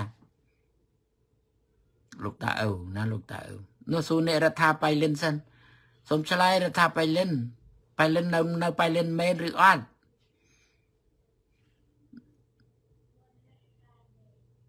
និយាយខាងអឺសូមសុរដ្ឋាបៃលិនសិន តាសិមប្រៃប្រៃណានោះព្រៃផ្ដៅអូអ្នកព្រៃផ្ដៅឬពាក្យផ្ដៅវាអីនឹកដែរធ្លាប់រោស៊ីផ្ដើមកាប់ឈើដើរព្រៃកាប់ចុងផ្ដៅចុងផ្អើមកឡកកោកពីងឆ្ងាញ់សាហាវអប្រឡែអត់មានគីមីអានោះអត់ប្រវាក់ភ័យទេនោះឯណារដ្ឋាភិបាលលិនមែនឬមិនឬក៏គ្រាន់តែឈ្មោះទេឈ្មោះនៅ Facebook ទេ ចង់ដឹងប៉ៃលិនមែនកំពុងនៅប៉ៃលិនមែនឬអីបើមែនប្រាប់ថាមែនបើអត់ក៏អត់ដែរ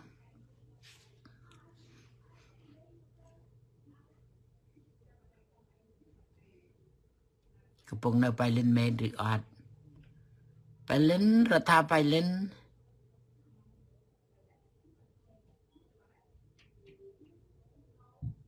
អនុសាវរីយ៍ភ្នំកុយណានេះនេះមួយទៀតណា អអ្នកមកថ្មី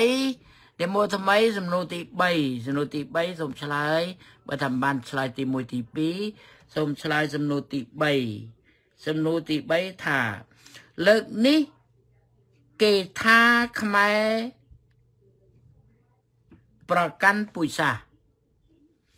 តើគេនោះជាអ្នកណា ជាខ្មែរឬជាបរទេស សវណ្ណលើកនេះគេថាខ្មែរប្រកាន់ពុជសាសតើគេនោះជាអ្នកណា អ្នកណាដែលថាខ្មែរប្រកាន់ពុជសាសតើអ្នកដែលថានោះជាជនជាតិខ្មែរឬក៏ជាជនជាតិបរទេស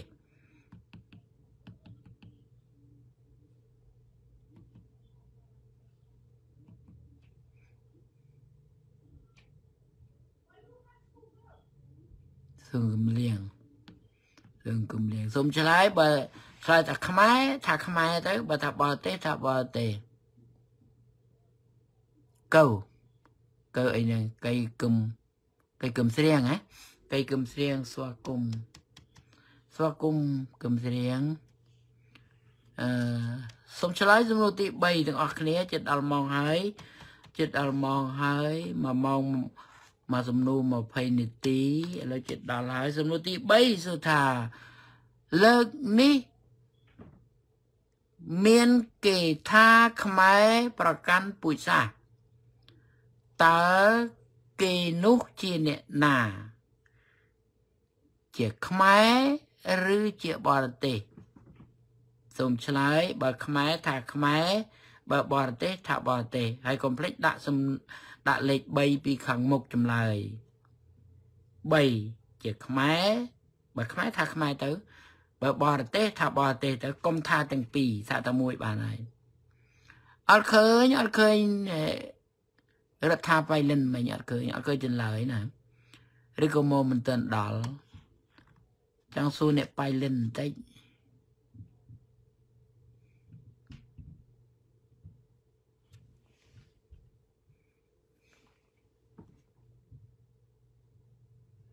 អត់ឃើញទេសូមឆ្លើយសូមឆ្លើយទាំងអស់គ្នាសូមឆ្លើយទាំងអស់គ្នា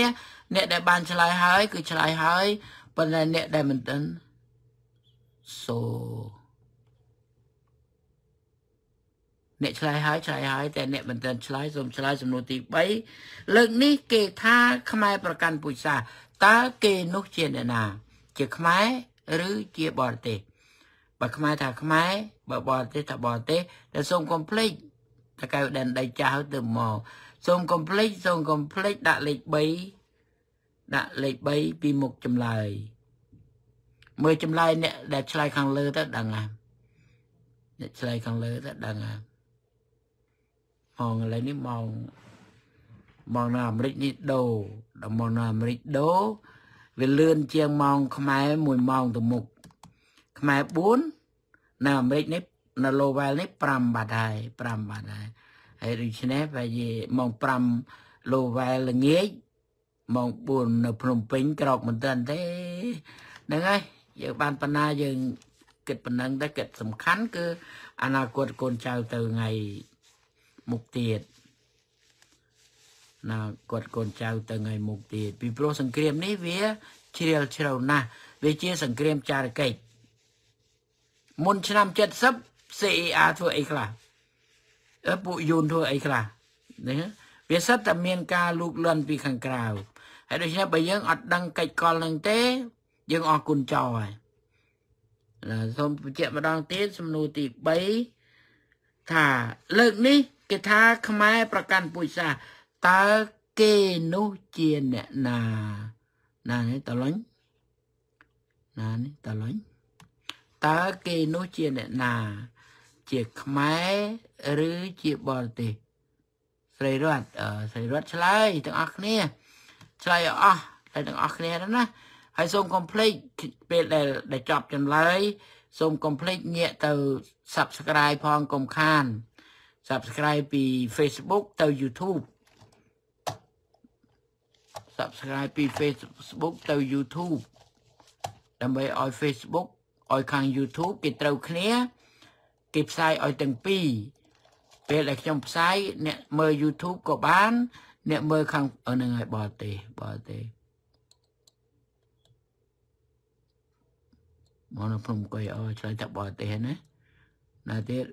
ណាទៀតប្រូលីប៉ូលីឆ្លើយឆ្លើយបើអត់បានឆ្លើយទី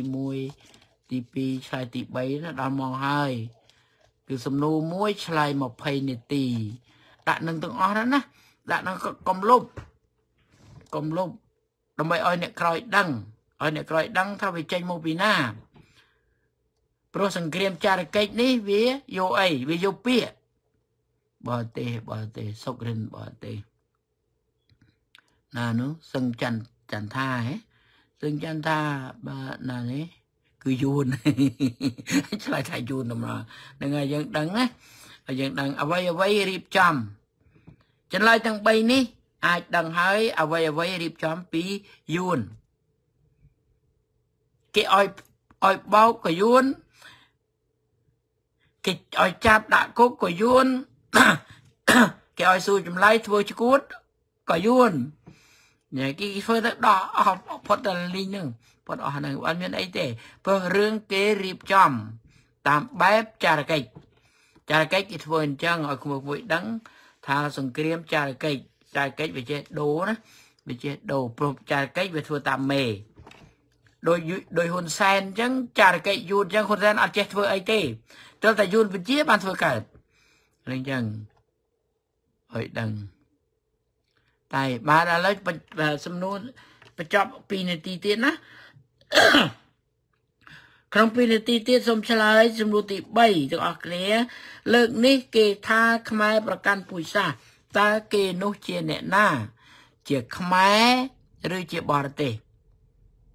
បាទសំណួរទី3សំណួរទី3សូមកុំភ្លេចឆ្លើយដាក់ណានេះសុជាតាសុជាតាសៅសូមកុំភ្លេចឆ្លើយដាក់លេខ3ពីខាងមុខលេខ3 ចម្លើយទី3គឺសំណួរទី3ចម្លើយយូនលិពុតហ្នឹងហើយហ្នឹងហើយហ្នឹងហើយហើយយើងដឹងទាំងអស់គ្នាហើយសូមឲ្យការចេះដឹងទាំងអស់នេះវាកើតកាលរៀលគុំដល់ក្មេងចំនួនក្រោយ ដល់ទំពាំងចំនួនក្រោយ ពីព្រោះគេច្រើនប្រើពាក្យអញ្ចឹងបើយើងអត់ចេះគេក៏លុកយើងបានតាមចិត្តហើយទីចុងបំផុតយើងអរគុណទៀតយើងអរគុណចោលទៀត យើងអរគុណចោលទៀតឥឡូវយើងរកឃើញណាបានហើយបិទប៉ុណ្ណឹងចុះសូមឈប់ឆ្លើយយូនលៀបពុតសូមឈប់ឈប់ឆ្លាក់ឈប់ឆ្លើយ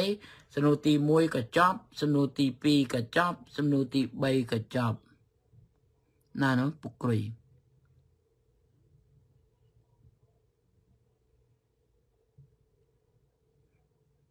បាទអាយ៉ងដាច់ហើយពាក្យអាយ៉ងពាក្យចារកិច្ចណា ឲ្យក្មួយក្មួយដឹង កាលណាតែធ្វើអាយ៉ងឲ្យគេឬក៏ធ្វើចារកិច្ចឲ្យគេ គឺធ្វើមកជីវិតអត់ចេញបានទេអត់ចេញបានទេតែគេថាទុកមិនចំណេញដកចេញមិនខាតនឹងបើចេញទើបតែគេដកទើបតែគេឲ្យចេញនេះនេះជីវិតចារកិច្ចនេះជីវិតអាយ៉ងអញ្ចឹងដូច្នេះអាយ៉ងគឺក្បត់ជាតិឯងហើយអត់ប្របាក់ប្រកែកទេ បាទឥឡូវយើងបញ្ចប់សំណួរប៉ុណ្ណឹងសំណួរទី1ទី2ទី3ខ្ញុំបានឃើញហើយ មួយក្មួយក៏បងប្អូនកូនក្មួយឆ្លើយឥឡូវយើងចូលដល់មួយចំណុចទៀតអានឹងមិនពិបាកឆ្លើយទេណាអូមកដាក់មកដាក់មកឲ្យស្វាគមន៍ឆ្លើយសំណួរផងសូទី3ទី2ទី3មកដាក់លៃលៃយ៉ាងម៉េចដាក់ព្រៃម៉ាគី កំពង់សោមហើយនឹងជួនភីខ្លួនឲ្យនៅម្ដុំបាននេះមកដល់ដាក់ឲ្យនៅម្ដុំហើយបើគេចង់រោចុចទៅឃើញទាំង3នឹងបណ្ដោយណាសុំសុំជួយលៃកន្លែងនឹងបានទេលៃលៃឲ្យមិនថាក្មួយក្មួយណាចង់ដឹងចង់ដឹងព្រៃម៉ាគីចង់ដឹងកំពង់សោមចង់ដឹងជន់ភីខ្លួនមក3មក3មក3សន្លុំយើងហ្នឹងណាហើយដាក់ជាស្អីមួយទៅចុចទៅឲ្យឃើញអានឹងទាំងអស់ណា ចឹងចឹងសូមជួយសម្រួលទៅនឹងបានទេសូមជួយទៅនឹងនឹងបានទេព្រោះមានអ្នកតាមរោទៅមិននឹងរោនៅតាណាឥឡូវខ្ញុំចុចរោចុចរោប្រៃម៉ាគីឧបមាថាប្រៃម៉ាគីខ្ញុំចុចក្នុង YouTube YouTube ចុចទៅឃើញរូបរូបខ្ញុំដែលមានសម្បត្តិសម្រាប់នៅមួយខាងនឹងហើយចុចទៅចេញតែលេខ1ហ្នឹងរកអាលេខ2តទៀតវាអត់នៅអញ្ចឹងគាត់ឃើញឃើញអាលេខ1នៅ YouTube ឃើញហើយដល់ចុចទៅវាបាត់អភិរតីទៀត ឃើញតែមួយហ្នឹងគឺតែលេខ1ហ្នឹងអញ្ចឹងសូមសូមមើលដកជួយជួយសម្រួលសម្រួលត្រង់ថាឲ្យឃើញមាន website ណាឬក៏ address ណាចុចទៅឃើញព្រៃម៉ាគីហើយឃើញកំពង់សោមហើយឃើញហើយឃើញជួនភីខ្លួនឲ្យឃើញមកសំណុំនោះនៅក្នុង web តែមួយហើយនៅក្នុង website តែមួយណាណាសូមអរគុណបានចូលមកឥឡូវយើងតទៅទៀតបងប្អូនមួយយើងតទៀត ចំណុចមួយទៀតខ្ញុំមិនបានដាក់កខទេគឺ ខ្មែរមានអីអត់អីមកដល់ពេលនេះ យើងរកមើលតើខ្មែរមានអីក្នុងកិច្ចការប្រទេសជាតិ1ខ្មែរមានកិច្ចព្រមព្រៀងស្តីពីសន្តិភាពកម្ពុជានៅទីក្រុងប៉ារីសរបស់នេះសំខាន់ណាស់ហើយចាំបាច់ណាស់អត់មានទេលើលោក ដែលមានកិច្ចព្រមព្រៀងប្រទេសទៅឡើងសន្ធឹកទៅជួយអញ្ចឹងអត់មានទេអញ្ចឹងរបស់ដែលយើងមាន នៅក្នុងឥឡូវនេះយើងនៅក្នុងអន្តរកាល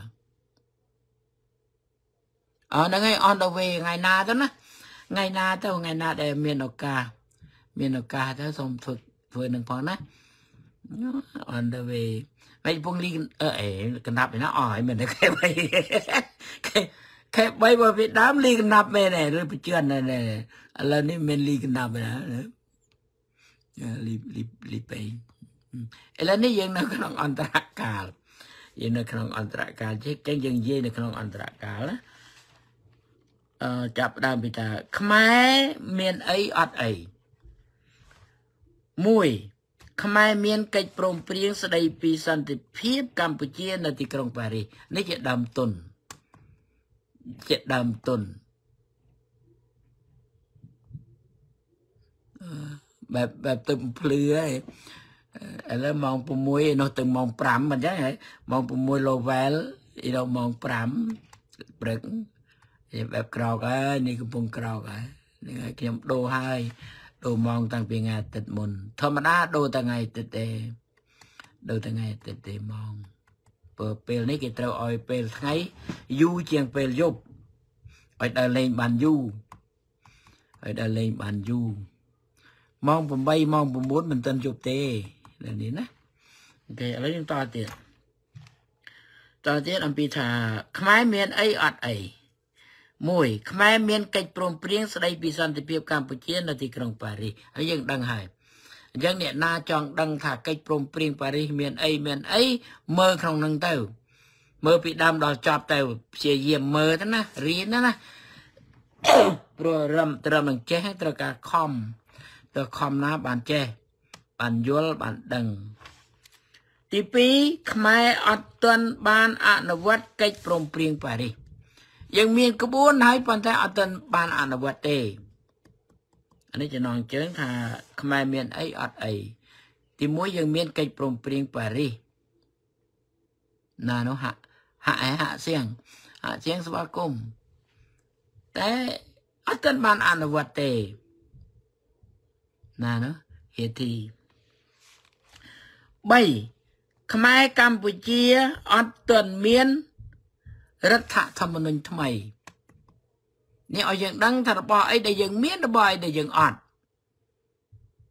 យូរយូរទៅយកអាមានទៅធ្វើអត់យកអាអត់ទៅធ្វើមានវាច្បោកច្បល់នឹងវាអត់ដោះស្រាយអីកើតទេអត់ស្គាល់ផ្នើកអត់ស្គាល់ផ្នើកយូរយូរទៅទៅជ័យគ្នាអារឿងអារឿងអត់មានសោះណាបើធ្វើដូចមែនតេនអញ្ចឹងធ្វើដូចមែនតេនអញ្ចឹងនៅទី3 ខ្មែរកម្ពុជាខ្ញុំថាចឹងតែម្ដងដល់ខ្មែរកម្ពុជា ទី3ខ្មែរកម្ពុជាអត់ទាន់មានរដ្ឋធម្មនុញ្ញថ្មីទេកិច្ចព្រមព្រៀងប៉ារីសគេឲ្យបង្កើតរដ្ឋធម្មនុញ្ញកម្ពុជាថ្មី តាមប្រព័ន្ធប្រជាធិបតេយ្យសេរីពហុបកអត់ទាន់មានទេ មានតែរដ្ឋធម្មនុញ្ញចោលរាជរដ្ឋាភិបាលរាជរដ្ឋាភិបាលមិនមែនប្រជាធិបតេយ្យទេឲ្យយើងស្គាល់បកាពិតអញ្ចឹង អានេះវុនសុវតតសេរដ្ឋធម្មនុញ្ញរាជរដ្ឋាភិបាលតាំងដល់ស្រ័យតាកំពុងកាន់លទ្ធិប្រជាធិបតេយ្យឧទទឹងទឹះរដ្ឋធម្មនុញ្ញដាក់រាជរដ្ឋាភិបាលជងងហើយទៅដល់ស្រ័យតាកំពុងកាន់លទ្ធិប្រជាធិបតេយ្យអត់ដឹងអីសោះអញ្ចឹងយ៉ាប់អត់ឲ្យនិយាយនេះឲ្យប្រឆាបន្តិចទៅលោកហើយនេះវាខុសតទេទៅណាឆាយ៉ាងម៉េចឧទាហរណ៍យើងទិញឆ្នោត15 ឆ្នោតវាចេញ16យើងទិញ15ឬ17ហើយដល់ឆ្នោតវាចេញចេញ16អានេះគេហៅឆានេះវាអត់ឆាសោះហ្នឹងណាដូចស្ដេចយូណានថាបាញ់ធ្នូអញ្ចឹងណាបាញ់ព្រួញចឹងណាបាញ់ទៅមិននឹងព្រួញទៅទៅណាមិននឹងទៅមេឃឧទៅដីមិននឹងទៅណាហើយនិយាយនេះវាខុសស្រឡះណា វាខុសត្រង់ថារដ្ឋធម្មនុញ្ញចោលដាក់រដ្ឋធម្មនុញ្ញ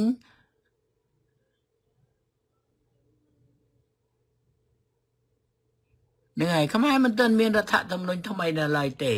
អត់ទាន់មានទេគំមួយចំណាំណាឈោលើកិច្ចព្រមព្រៀងប៉ារីសឲ្យមមឲ្យមម កុំរដ្ឋធម្មនុញ្ញចោលដាក់ថារាជរដ្ឋាភិបាលទៅស្រែកថាកម្ពុជាកំពុងកាន់លទ្ធិប្រជាធិបតេយ្យវាខុសទៅទេទៅណាវាខុសដូចព្រួញតាជួនណាចឹងមិនដឹងទៅមេឃទៅទៅទៅដីមិនដឹងទៅឯណានោះណាអានេះក៏អញ្ចឹងដែរអស់លោកដែលលោកអត់ដឹងអីចឹងលោកឈប់និយាយបានទេលោកកុំកុំនិយាយឲ្យបំពុលគេអញ្ចឹងបើអត់ដឹងអីទៅទៅរៀន30ឆ្នាំទៀតទៅ30ប្រហែលហើយតាំងពី91មក9 91មកទៅរៀនរៀនកិច្ចព្រមព្រៀងប៉ារីស30ប្រហែលឆ្នាំនឹងទៀតទៅចាំបែរមកនិយាយវិញក្រែងលោវាត្រូវខ្លះឥឡូវនេះលោកអត់ដែលមើលអត់ដឹងអីទាំងអស់និយាយមកខុសទៅទេអញ្ចឹងណាអូខេនៅទី3ទី3ខ្មែរកម្ពុជាអត់ទាន់មានរដ្ឋធម្មនុញ្ញថ្មីទេ4ខ្មែរកម្ពុជាអត់ទាន់មានរដ្ឋាភិបាល ថ្មីទេ ស្ដាប់រដ្ឋាភិបាលខ្ញុំនិយាយថាខ្មែរកម្ពុជាអត់ទាន់មានរដ្ឋាភិបាលទេរដ្ឋាភិបាលថ្មីតាមកិច្ចប្រព្រឹត្តប៉ារីសនោះខ្ញុំអត់បានថាខ្មែរកម្ពុជាអត់មានរាជរដ្ឋាភិបាលទេខ្ញុំថារដ្ឋាភិបាលស្ដាប់ពាក្យខ្ញុំកុំយកពាក្យខ្ញុំទៅបកស្រាយទៅតឹងទៅខ្មែរអត់ទាន់មានរដ្ឋាភិបាលកម្ពុជាថ្មីទេ នេះយើងអ្វីដែលយើងមានអ្វីដែលយើងអត់4ខ្មែរកម្ពុជាអត់ទាន់មានរដ្ឋាភិបាលថ្មីទេ5ខ្មែរកម្ពុជាអត់ទាន់មានកតិកសញ្ញាទេកតិកសញ្ញាឬក៏អនុសញ្ញាជាមួយនឹងបរទេសណាទេ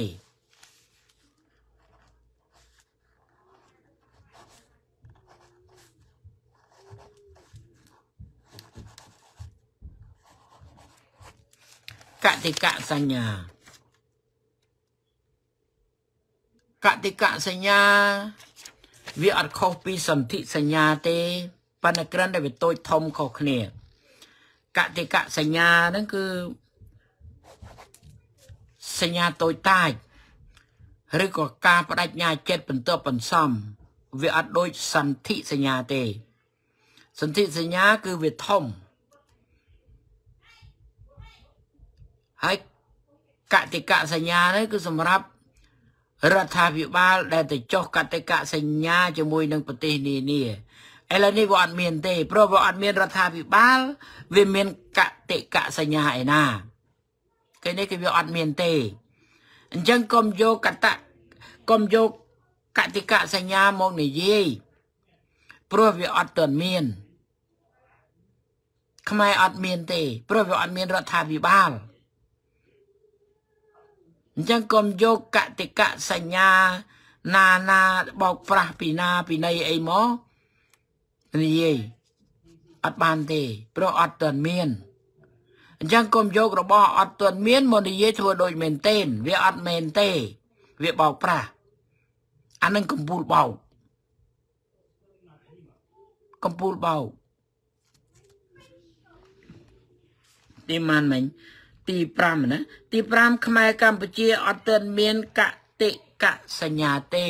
អត់មានអីលលីងអត់មានទេវាអត់សោះហ្មងណាវាអត់បើមានខ្ញុំថាយបើវាមានវាត្រូវរឿងវាមានវាត្រូវតែទទួលស្គាល់ថាវាមានប៉ុន្តែវាអត់ទាន់មានរបស់មួយដែលហៅថារដ្ឋាភិបាលវាអត់មានទេអញ្ចឹងរាជរដ្ឋាភិបាលអានឹងមិនមែនកិច្ចព្រមព្រៀងប៉ារីសឲ្យធ្វើណា វាជារឿងរបបចាស់ទៅកិច្ចព្រមព្រៀងប៉ារីសគេមិនឲ្យធ្វើទេតើមើលទៀតតើមើលម្ដងទៀតតើរៀនរៀន30ឆ្នាំសិនចាំបកមកនិយាយរឿងកិច្ចព្រមព្រៀងប៉ារីសឈាមហូរអស់ច្រើនណាស់វាថ្លៃថ្លាណាស់មិនមែនយកមនុស្សមិនដឹងអីមកនិយាយតែពេលតែប្រាអញ្ចឹងទេកុំស្ដោះទឹកមាត់លើឈាមខ្មែរអ្នកតស៊ូជាតិខ្មែរអត់ទាន់មានទេ ខ្មែរកម្ពុជាអត់ទាន់មានទេ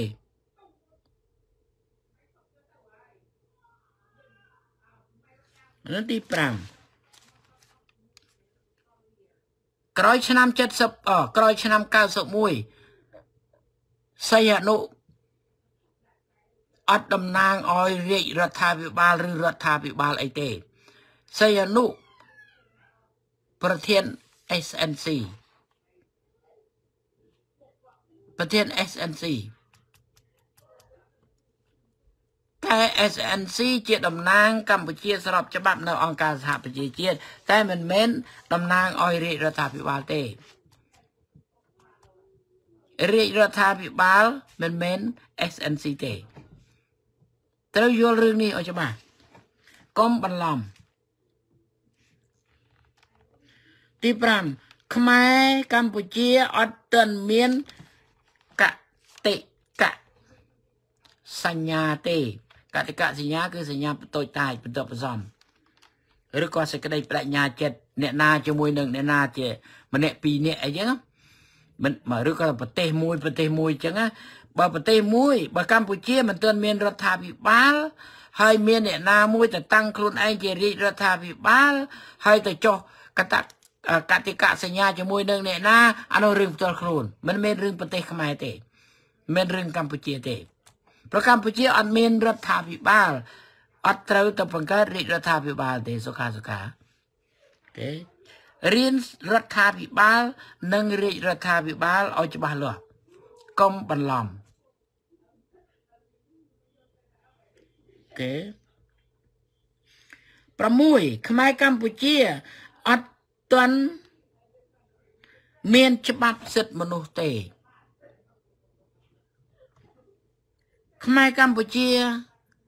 និយាយពីច្បាប់សិទ្ធិមនុស្សជាមួយនឹងប្រទេសណាប្រទេសណីអត់ទាន់មានទេ មានច្បាប់សិទ្ធិមនុស្សវាទល់តែមានរដ្ឋាភិបាល គេបង្កើតក្រសួងសិទ្ធិមនុស្សអានឹងបានវាមានសិទ្ធិមនុស្សកម្ពុជាបើអបកម្ពុជាអត់មានរដ្ឋាភិបាលផងវាមានសិទ្ធិមនុស្សមកពីណាវាអត់មានទេអត់មានទេ បើមានរដ្ឋាភិបាល ដែលប្រសូតចេញពីកិច្ចព្រមព្រៀងប៉ារីសអានឹងបានយើងទទួលស្គាល់ថាវាជា ច្បាប់សិទ្ធិមនុស្សអីចុះបើខ្មែរអត់មានរដ្ឋាភិបាលផងមានតែចោលលួចធ្វើរាជរដ្ឋាភិបាលណាអានឹងចោលតាមហាក្សត្រចោលតាឲ្យខ្ញុំប្រាប់ប្រហែលដងទៀតបើវាចោលអញ្ចឹងយើងយកជាការធ្វើអីវាចោលនោះ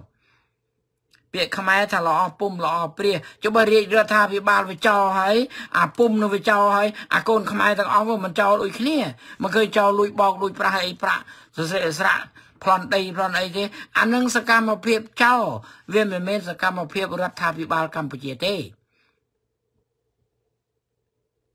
សកម្មភាពចោលសតសតចោលស៊ឺស៊ឺតឡាការក៏ចោល អាចោបន្លំឥឡូវចាប់ហើយគឺរសូតដោះលេងវិញហើយគ្រាន់តែធ្វើឈួតបន្តិចទៅអាចោអាអ្នកដែលជាពាក្យប្រាក់ធនាគារនោះមិនក៏មិនចេះធ្វើឈួតដែរទៅកុំពិបាកសងឲ្យតឡាការគេកាត់ទៅអញ្ចឹងទៅព្រោះអានោះវាបោកឲ្យវាឈួតហើយវាអស់ហើយវា bankruptcy ហើយអាចោឯនេះមិន bankruptcy ដែរទៅសាកមើលមើលវាអស់អីបើមិនអស់ដីហេតុតែ bankruptcy នោះអស់ដីនៅទៅណៃណានេះជាល្បិចចោល យួនវាជាចោវាបង្កើតអីក៏ចោដែរហើយអត់យល់ទេប៉ុណ្ណឹងប្រាប់ថាគុំទៅបោះឆ្នោតឥឡូវទៅស្រែកស្រៈដោយសារតែរឿងបោះឆ្នោតហ្នឹងឯងអាការបោះឆ្នោត5ឆ្នាំម្ដងណាគឺជាឆ្នាំពៅឲ្យចោវាមានកម្លាំងអញ្ចឹងពួកគណៈបកទាំងឡាយដែលទៅជួយពង្រឹងចោនោះទទួលខុសត្រូវក្នុងរឿងក្បត់កិច្ចព្រមព្រៀងប៉ារីសឲ្យច្បាស់លាស់ ដូច្នេះទី6ប្រាប់ថាខ្មែរកម្ពុជាអត់ទាន់មានច្បាប់សិទ្ធិមនុស្សទេអត់ទាន់មានច្បាប់សិទ្ធិមនុស្សទេ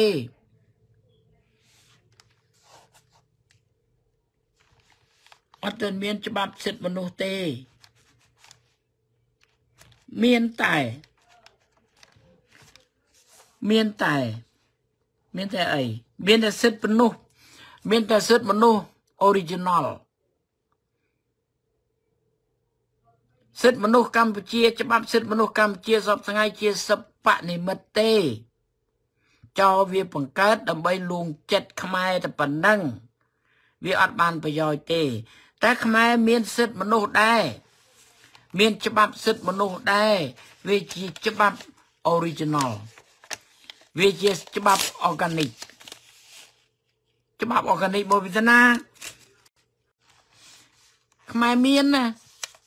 គេថាខ្មែរអត់ស្គាល់ទន្ទិញរាល់ថ្ងៃនេះក៏អត់ស្គាល់ដែរព្រោះខ្មែរមិនដែលរៀនសាលាស្គាល់មិនដែលរៀនសាលាស្គាល់មិនដែលរៀនសាលាយល់រៀនតែសាលាចេះរៀនតែសាលាចេះចេះតែថាច្បាប់សិទ្ធិមនុស្សមួយយ៉ាងវិសេសវិសាល ច្បាប់សិទ្ធិមនុស្សអ័រហ្គានិក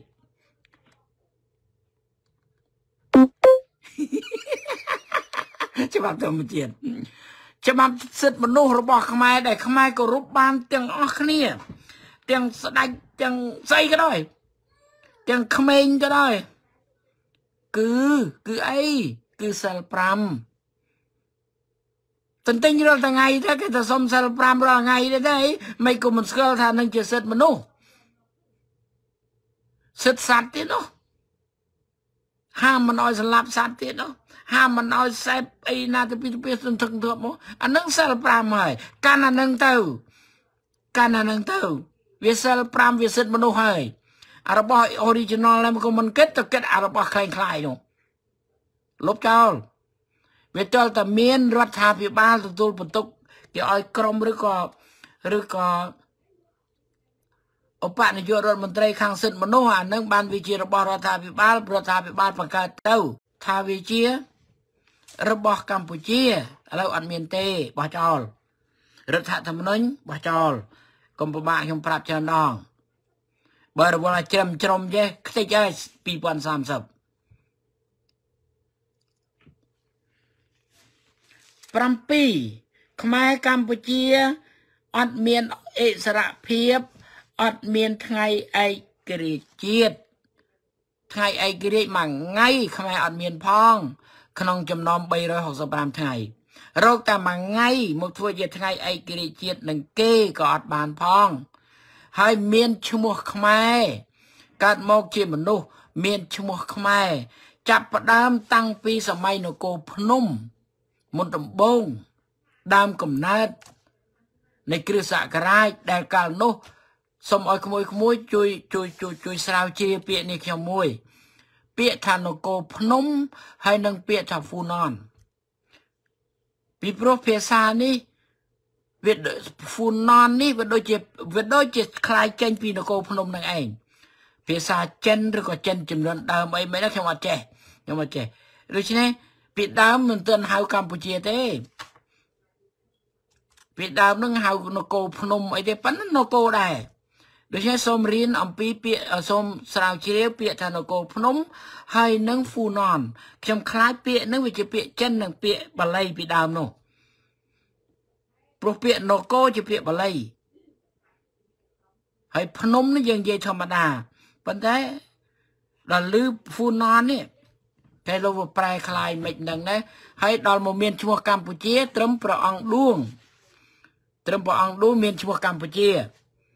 ហើយដែលស្រាវជ្រាវទៅឃើញឃើញរូបតាអង្គឌួងហ្នឹងឃើញกระดาษប្រាក់គេกระดาษប្រាក់ខ្ញុំភ្លេចឲ្យ10សេនកុំហ្នឹងគឺ10រៀលកុំហ្នឹងกระดาษប្រាក់ហ្នឹងហើយដាក់ឈ្មោះថាកម្ពុជាហើយមុននោះក៏មានដែរតាមមើលមុនសម័យអង្គឌួងដែរពីព្រោះកម្ពុជាមានសរសេរអង្កលនោះអង្កលនោះមានកសង្យោគសញ្ញាណាមានកហើយដាក់សង្យោគសញ្ញាណាអានថាកម្មមកយ៉ា កហើយដាក់សញ្ញោកសញ្ញាទៅដល់ម៉ូអីចឹងទៅដល់ក្រោយមកបាត់បាត់សញ្ញោកសញ្ញានឹងហើយអញ្ចឹងដូច្នេះយើងត្រូវស្រាវជ្រាវពីរឿងអញ្ចឹងកម្ពុជាគឺត្រឹមព្រះអង្គឌួងឬក៏ហៅក្រៅបចៅក្រុងកម្ពុជានៅពេលហ្នឹងយើងមានមានកម្ពុជាហើយយើងមានកម្ពុជាហើយដូច្នេះរៀនត្រូវរៀនពាក្យនេះឲ្យច្បាស់ទាំងអស់គ្នារៀនពាក្យកម្ពុជានឹងកើតពីឈ្មោះនឹងកើតពីត្រឹមណាឲ្យច្បាស់លាស់ពីព្រោះក្នុងអន្តរជាតិ ក្នុងអន្តរជាតិតកតងនឹងកិច្ចព្រមព្រៀងប៉ារីសក្តីសន្និសិទហ្សឺណែវ54ក្តីតកតងនឹងកម្ពុជាដូច្នេះត្រូវរៀនមើលកម្ពុជា កាលនោះវាប៉ុណ្ណារៀនអានឹងទៅវាមានប្រយោជន៍កម្ពុជាវាប៉ុណ្ណាសន្និសិទសឺណែវ54ឲ្យដកបរទេសចេញពីកម្ពុជាអង្កាលនោះកម្ពុជានៅតង់ណា រៀនរបស់នេះវិញវាមានប្រយោជន៍ដល់ប្រទេសជាតិដល់អ្នកក្រោយហើយទុកប្លង់អស់នឹងឲ្យអ្នកក្រោយគ្នាដើរទៅកើត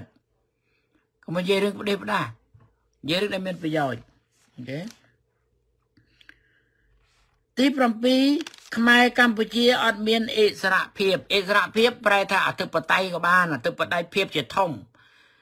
ភាពជាម្ចាស់អានឹងអិសរភាពខ្មែរមិនដែលបានធ្វើម្ចាស់ប្រទេសពីកាលណាទេ ទើបមកសម័យសងៃទេនិយាយថាខ្មែរម្ចាស់ប្រទេសខ្មែរម្ចាស់ស្រុកអីហ្នឹងគ្រាន់តែនិយាយទេ តែជាការពិតអត់ដែលមានអំណាចនឹងទេប៉ុន្តែល្អដែលនិយាយនោះក៏មិនអាក្រក់ដែរវាជាការបណ្ដោះបណ្ដោះឲ្យធ្វើជាម្ចាស់តាមកិច្ចព្រមព្រៀងប៉ារីសឲ្យខ្មែរមានសិទ្ធិចាត់ចែងវាសនាជាតិខ្លួនដោយខ្លួនឯងដូច្នេះត្រូវរៀនធ្វើរឿងអស់ហ្នឹងរៀនធ្វើអស់ហ្នឹងអញ្ចឹងសូម្បីតែថ្ងៃឯករាជ្យជាតិក៏យើងអត់មានផង គេមានដូចអាមេរិកមានបារាំងមានកាណាដាមាន ថ្ងៃឯករាជ្យជាតិយើងអត់មានហើយអត់មានប៉ុណ្ណឹងហើយទៅឯហើយអ៊ូតឯងអធិបតេយ្យស្អីអត់មានទេ7 8ខ្មែរកម្ពុជាមិនទាន់មានបរិយាកាសនយោបាយឯករាជ្យសន្តិភាពអព្យាក្រឹតនិងមិនទាន់ដល់ពេលបង្កើតគណៈបកបោះឆ្នោតទេ កិច្ចព្រមព្រៀងប៉ារីស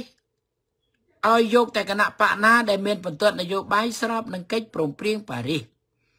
ហើយឲ្យធ្វើឲ្យកម្ពុជាមានបរិយាកាសនយោបាយឯករាជ្យអភិក្រិតសិនចាំបោះឆ្នោតឥឡូវវាអត់វាអត់ឲ្យទៅបោះឆ្នោតទៅពេញទៅពីទៅពីហើយតាំងមកស្រែកចន្ទាលរៀងតែខ្លួនអាមួយទៅឈ្នះអាមួយចាញ់អាមួយយុទ្ធធរហើយវាត្រឹមត្រូវហើយត្រឹមត្រូវស្អីបើកម្ពុជាមិនទាន់មាន បរិយាកាសនយោបាយឯករាជ្យអភិក្រិតសន្តិភាពផងទេនោះបរទេសឆ្លៀនពៀននៅពេញស្រុកឲ្យដកសិនអានេះអត់ទេឃើញទេ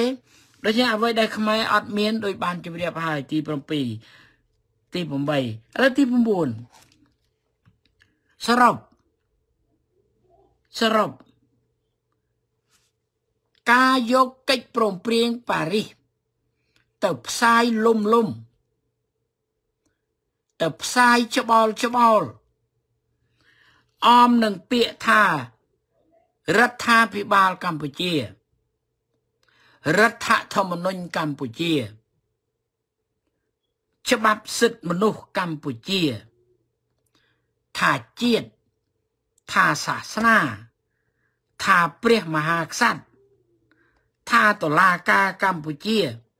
អីអីនេះគឺជាការបោកប្រាស់ គឺជាការផ្សាយបន្លំពង្រឹងនយោបាយចោលដោយយកកិច្ចព្រមព្រៀងប៉ារីសទៅធ្វើជានុយហើយដើម្បីនឹងផ្សាយរបស់คล้ายคล้ายទាំងប្រមាណដូចជាថារដ្ឋាភិបាលកម្ពុជានាយករដ្ឋមន្ត្រីកម្ពុជាប្រមុខកម្ពុជាប្រមុខស្អីមានណាបោះឆ្នោតឲ្យមានបរិយាកាសនយោបាយឯករាជ្យណាអត់ច្បាប់រដ្ឋធម្មនុញ្ញកម្ពុជា បវចនាជាតិសាសនាព្រះមហាក្សត្រអត់មានទេលទ្ធិប្រជាធិបតេយ្យអត់មានមហាក្សត្រទេ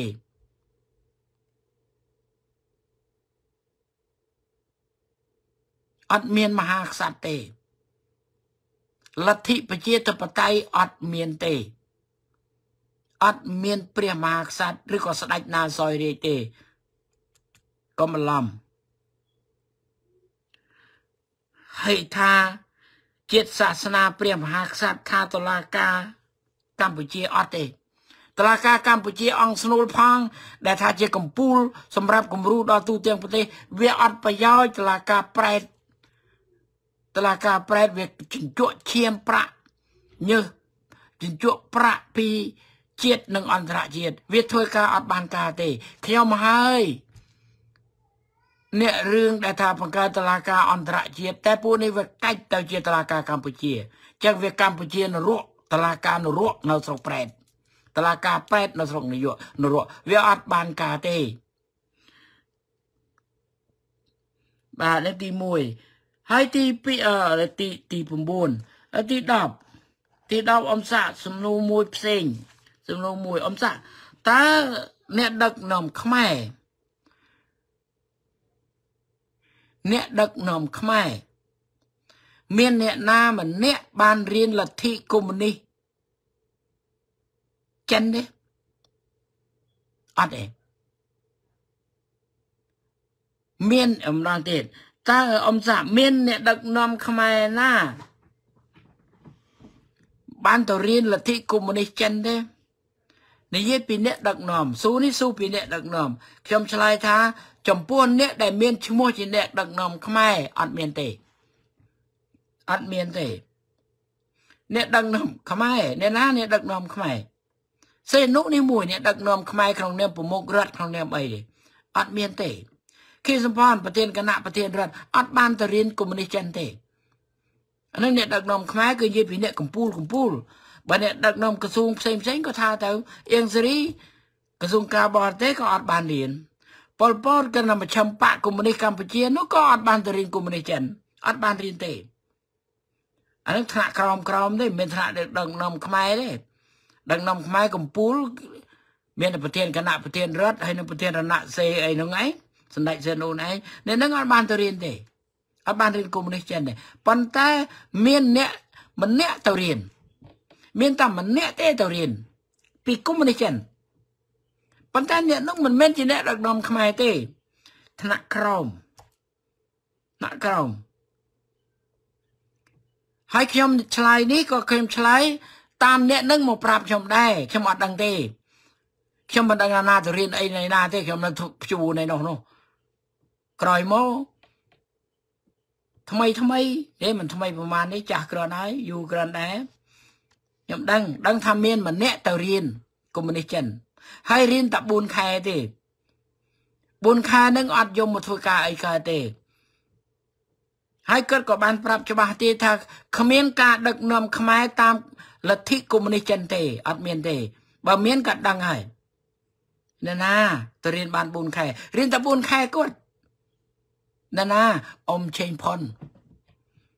មានលោកព្រឹទ្ធាចារ្យឆេងផុនទេបានទៅអង្គុយក្នុងសាលាចិន ដែលបានទៅអង្គុយក្នុងសាលាចិនហើយរៀនលទ្ធិកុម្មុយនីសនឹងហើយរៀនតែ4ខែទេហើយគាត់ថាมันងាយយកមកអនុវត្តទេ តាមទ្រឹស្ដីនោះហើយផុតភ្នោះអត់បានរៀនទេ ហើយក៏គ្នាមិនដែលបានយកលទ្ធិកុម្មុយនីសមកអនុវត្តនៅស្រុកខ្មែរដែររឿងដែលស្លាប់ពី75 79វាមិនមែនស្លាប់ដោយសារលទ្ធិកុម្មុយនីសចិនស្អីនោះទេ គឺចារកិច្ចយួនវាធ្វើ វាសម្លាប់ហើយវារាយការប្រាប់យួនវាមិនរាយការប្រាប់ចិនទេណាយកសួរពូបាទវាងាយងាយណាស់វាបាក់អីមានតែអ៊ំចេញផុនទេគាត់បានទៅរៀន4ខែតាមគាត់មកប្រាប់ខ្ញុំប្រាប់ទល់មាត់ប្រាប់ស៊ឺស៊ឺឥឡូវគាត់ចាក់ឋានទៅហើយហើយគាត់ផ្ដាំគាត់ផ្ដាំថាឈ្មោះខ្ញុំនេះគេដាក់ក្នុងបញ្ជីខ្មៅហើយឲ្យតែទៅគេសម្លាប់ហើយ មុននឹងទៅស្រុកខ្មែរឲ្យគ្រូមើលរិស័យសិនបើរិស័យល្អចាំទៅរិស័យល្អចាំទៅ បើមិនល្អទេកុំទៅកុំទៅឲ្យគ្រូមើលរិស័យសិនកាត់ផ្ដាំឲ្យផ្ដាំទៀតហើយខ្ញុំមិន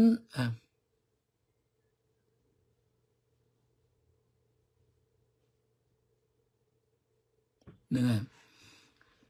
ហើយរឿងថាបានទៅរៀនហ្នឹងគឺអត់បានរៀនទេប៉ុន្តែ ហ្នឹងហើយដោយសតិថាគេចង់ទុកបាល់គេមិនបាក់រៀនទេគេគិតថាឲ្យនេះឲ្យនោះវាងាប់ដល់គេធ្វើវាំងអោយនោះងាប់ដល់គេធ្វើវាំងអោយមួយនោះ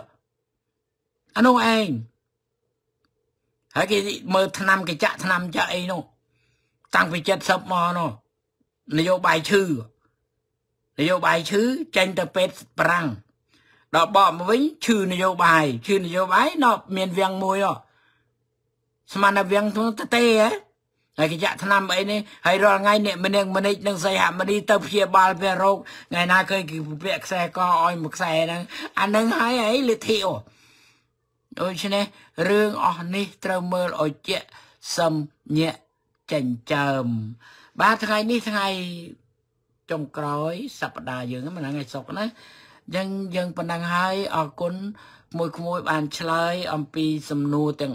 3ដែលបញ្ជាក់ច្បាស់ថា អ្វីអ្វីមានគេរៀបចំពីក្រោយ ដែលអ្នករៀបចំពីក្រោយនោះរៀបចំតាមណា គឺរៀបលទ្ធផលចេញសំសំហើយនឹងនឹងចម្លើយនឹងល្អល្អហើយយើងឃើញការពិតណាហើយគេរៀបចំ គេរៀបចំតាមណា គេរៀបចំតាមអាយ៉ងគេរៀបចំតាមចារកិច្ចគេមិនដែលរៀបខុសខ្សែទេគេមិនដែលរៀបចំខុសខ្សែទេហើយខ្សែរឿង3លានអ្នកនោះខ្សែនៃណានៅលើអ្នកដឹង អ្នកណាអ្នកដឹង3លានអ្នកអ្នកណាអ្នករាប់អ្នកណាអ្នករាយការណ៍អ្នកណាអ្នកបូកសរុប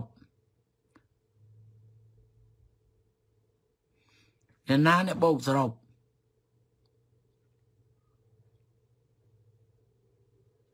ហ្នឹងហើយអាហ្នឹងគេគេត្រូវអ្នកបូកសរុបហ្នឹងហើយដែលគេដឹងព្រោះសម័យនោះសម័យនោះមកដល់ឆ្នាំ79តាមខ្ញុំដឹងណាមកដល់7អេខ្លះថា91ហ៎សម័យនោះគេនៅក្រមបន្ទាត់លក្ខការ4មិនលក្ខការ4មិនទី1គឺមិនដឹង ទី2គឺមិនលឺទី3គឺមិនឃើញ ទី4គឺមិននិយាយ មិនដឹងមិនលឺមិនឃើញមិននិយាយហើយបានគេមានពាក្យស្លោកសង្កត់ទៅនឹងច្បាប់ហ្នឹងថា ការគេគេដឹង ការយើងយើងដឹង ការគេគេធ្វើ ការយើងយើងធ្វើដូច្នេះគេដឹងព្រោះគេធ្វើគេដឹងថាអស់3លានអ្នកព្រោះគេសម្លាប់ហើយអ្នកដែលដឹងព្រោះគេរាយការណ៍ទៅឲ្យ ដូច្នេះបញ្ហាយុទ្ធធម៌កម្ពុជា វានៅត្រង់អ្នកដឹងនិងអ្នកអត់ដឹងមកជួបគ្នាអ្នកឯងមិនបានជាដឹងអស់3លាននេះ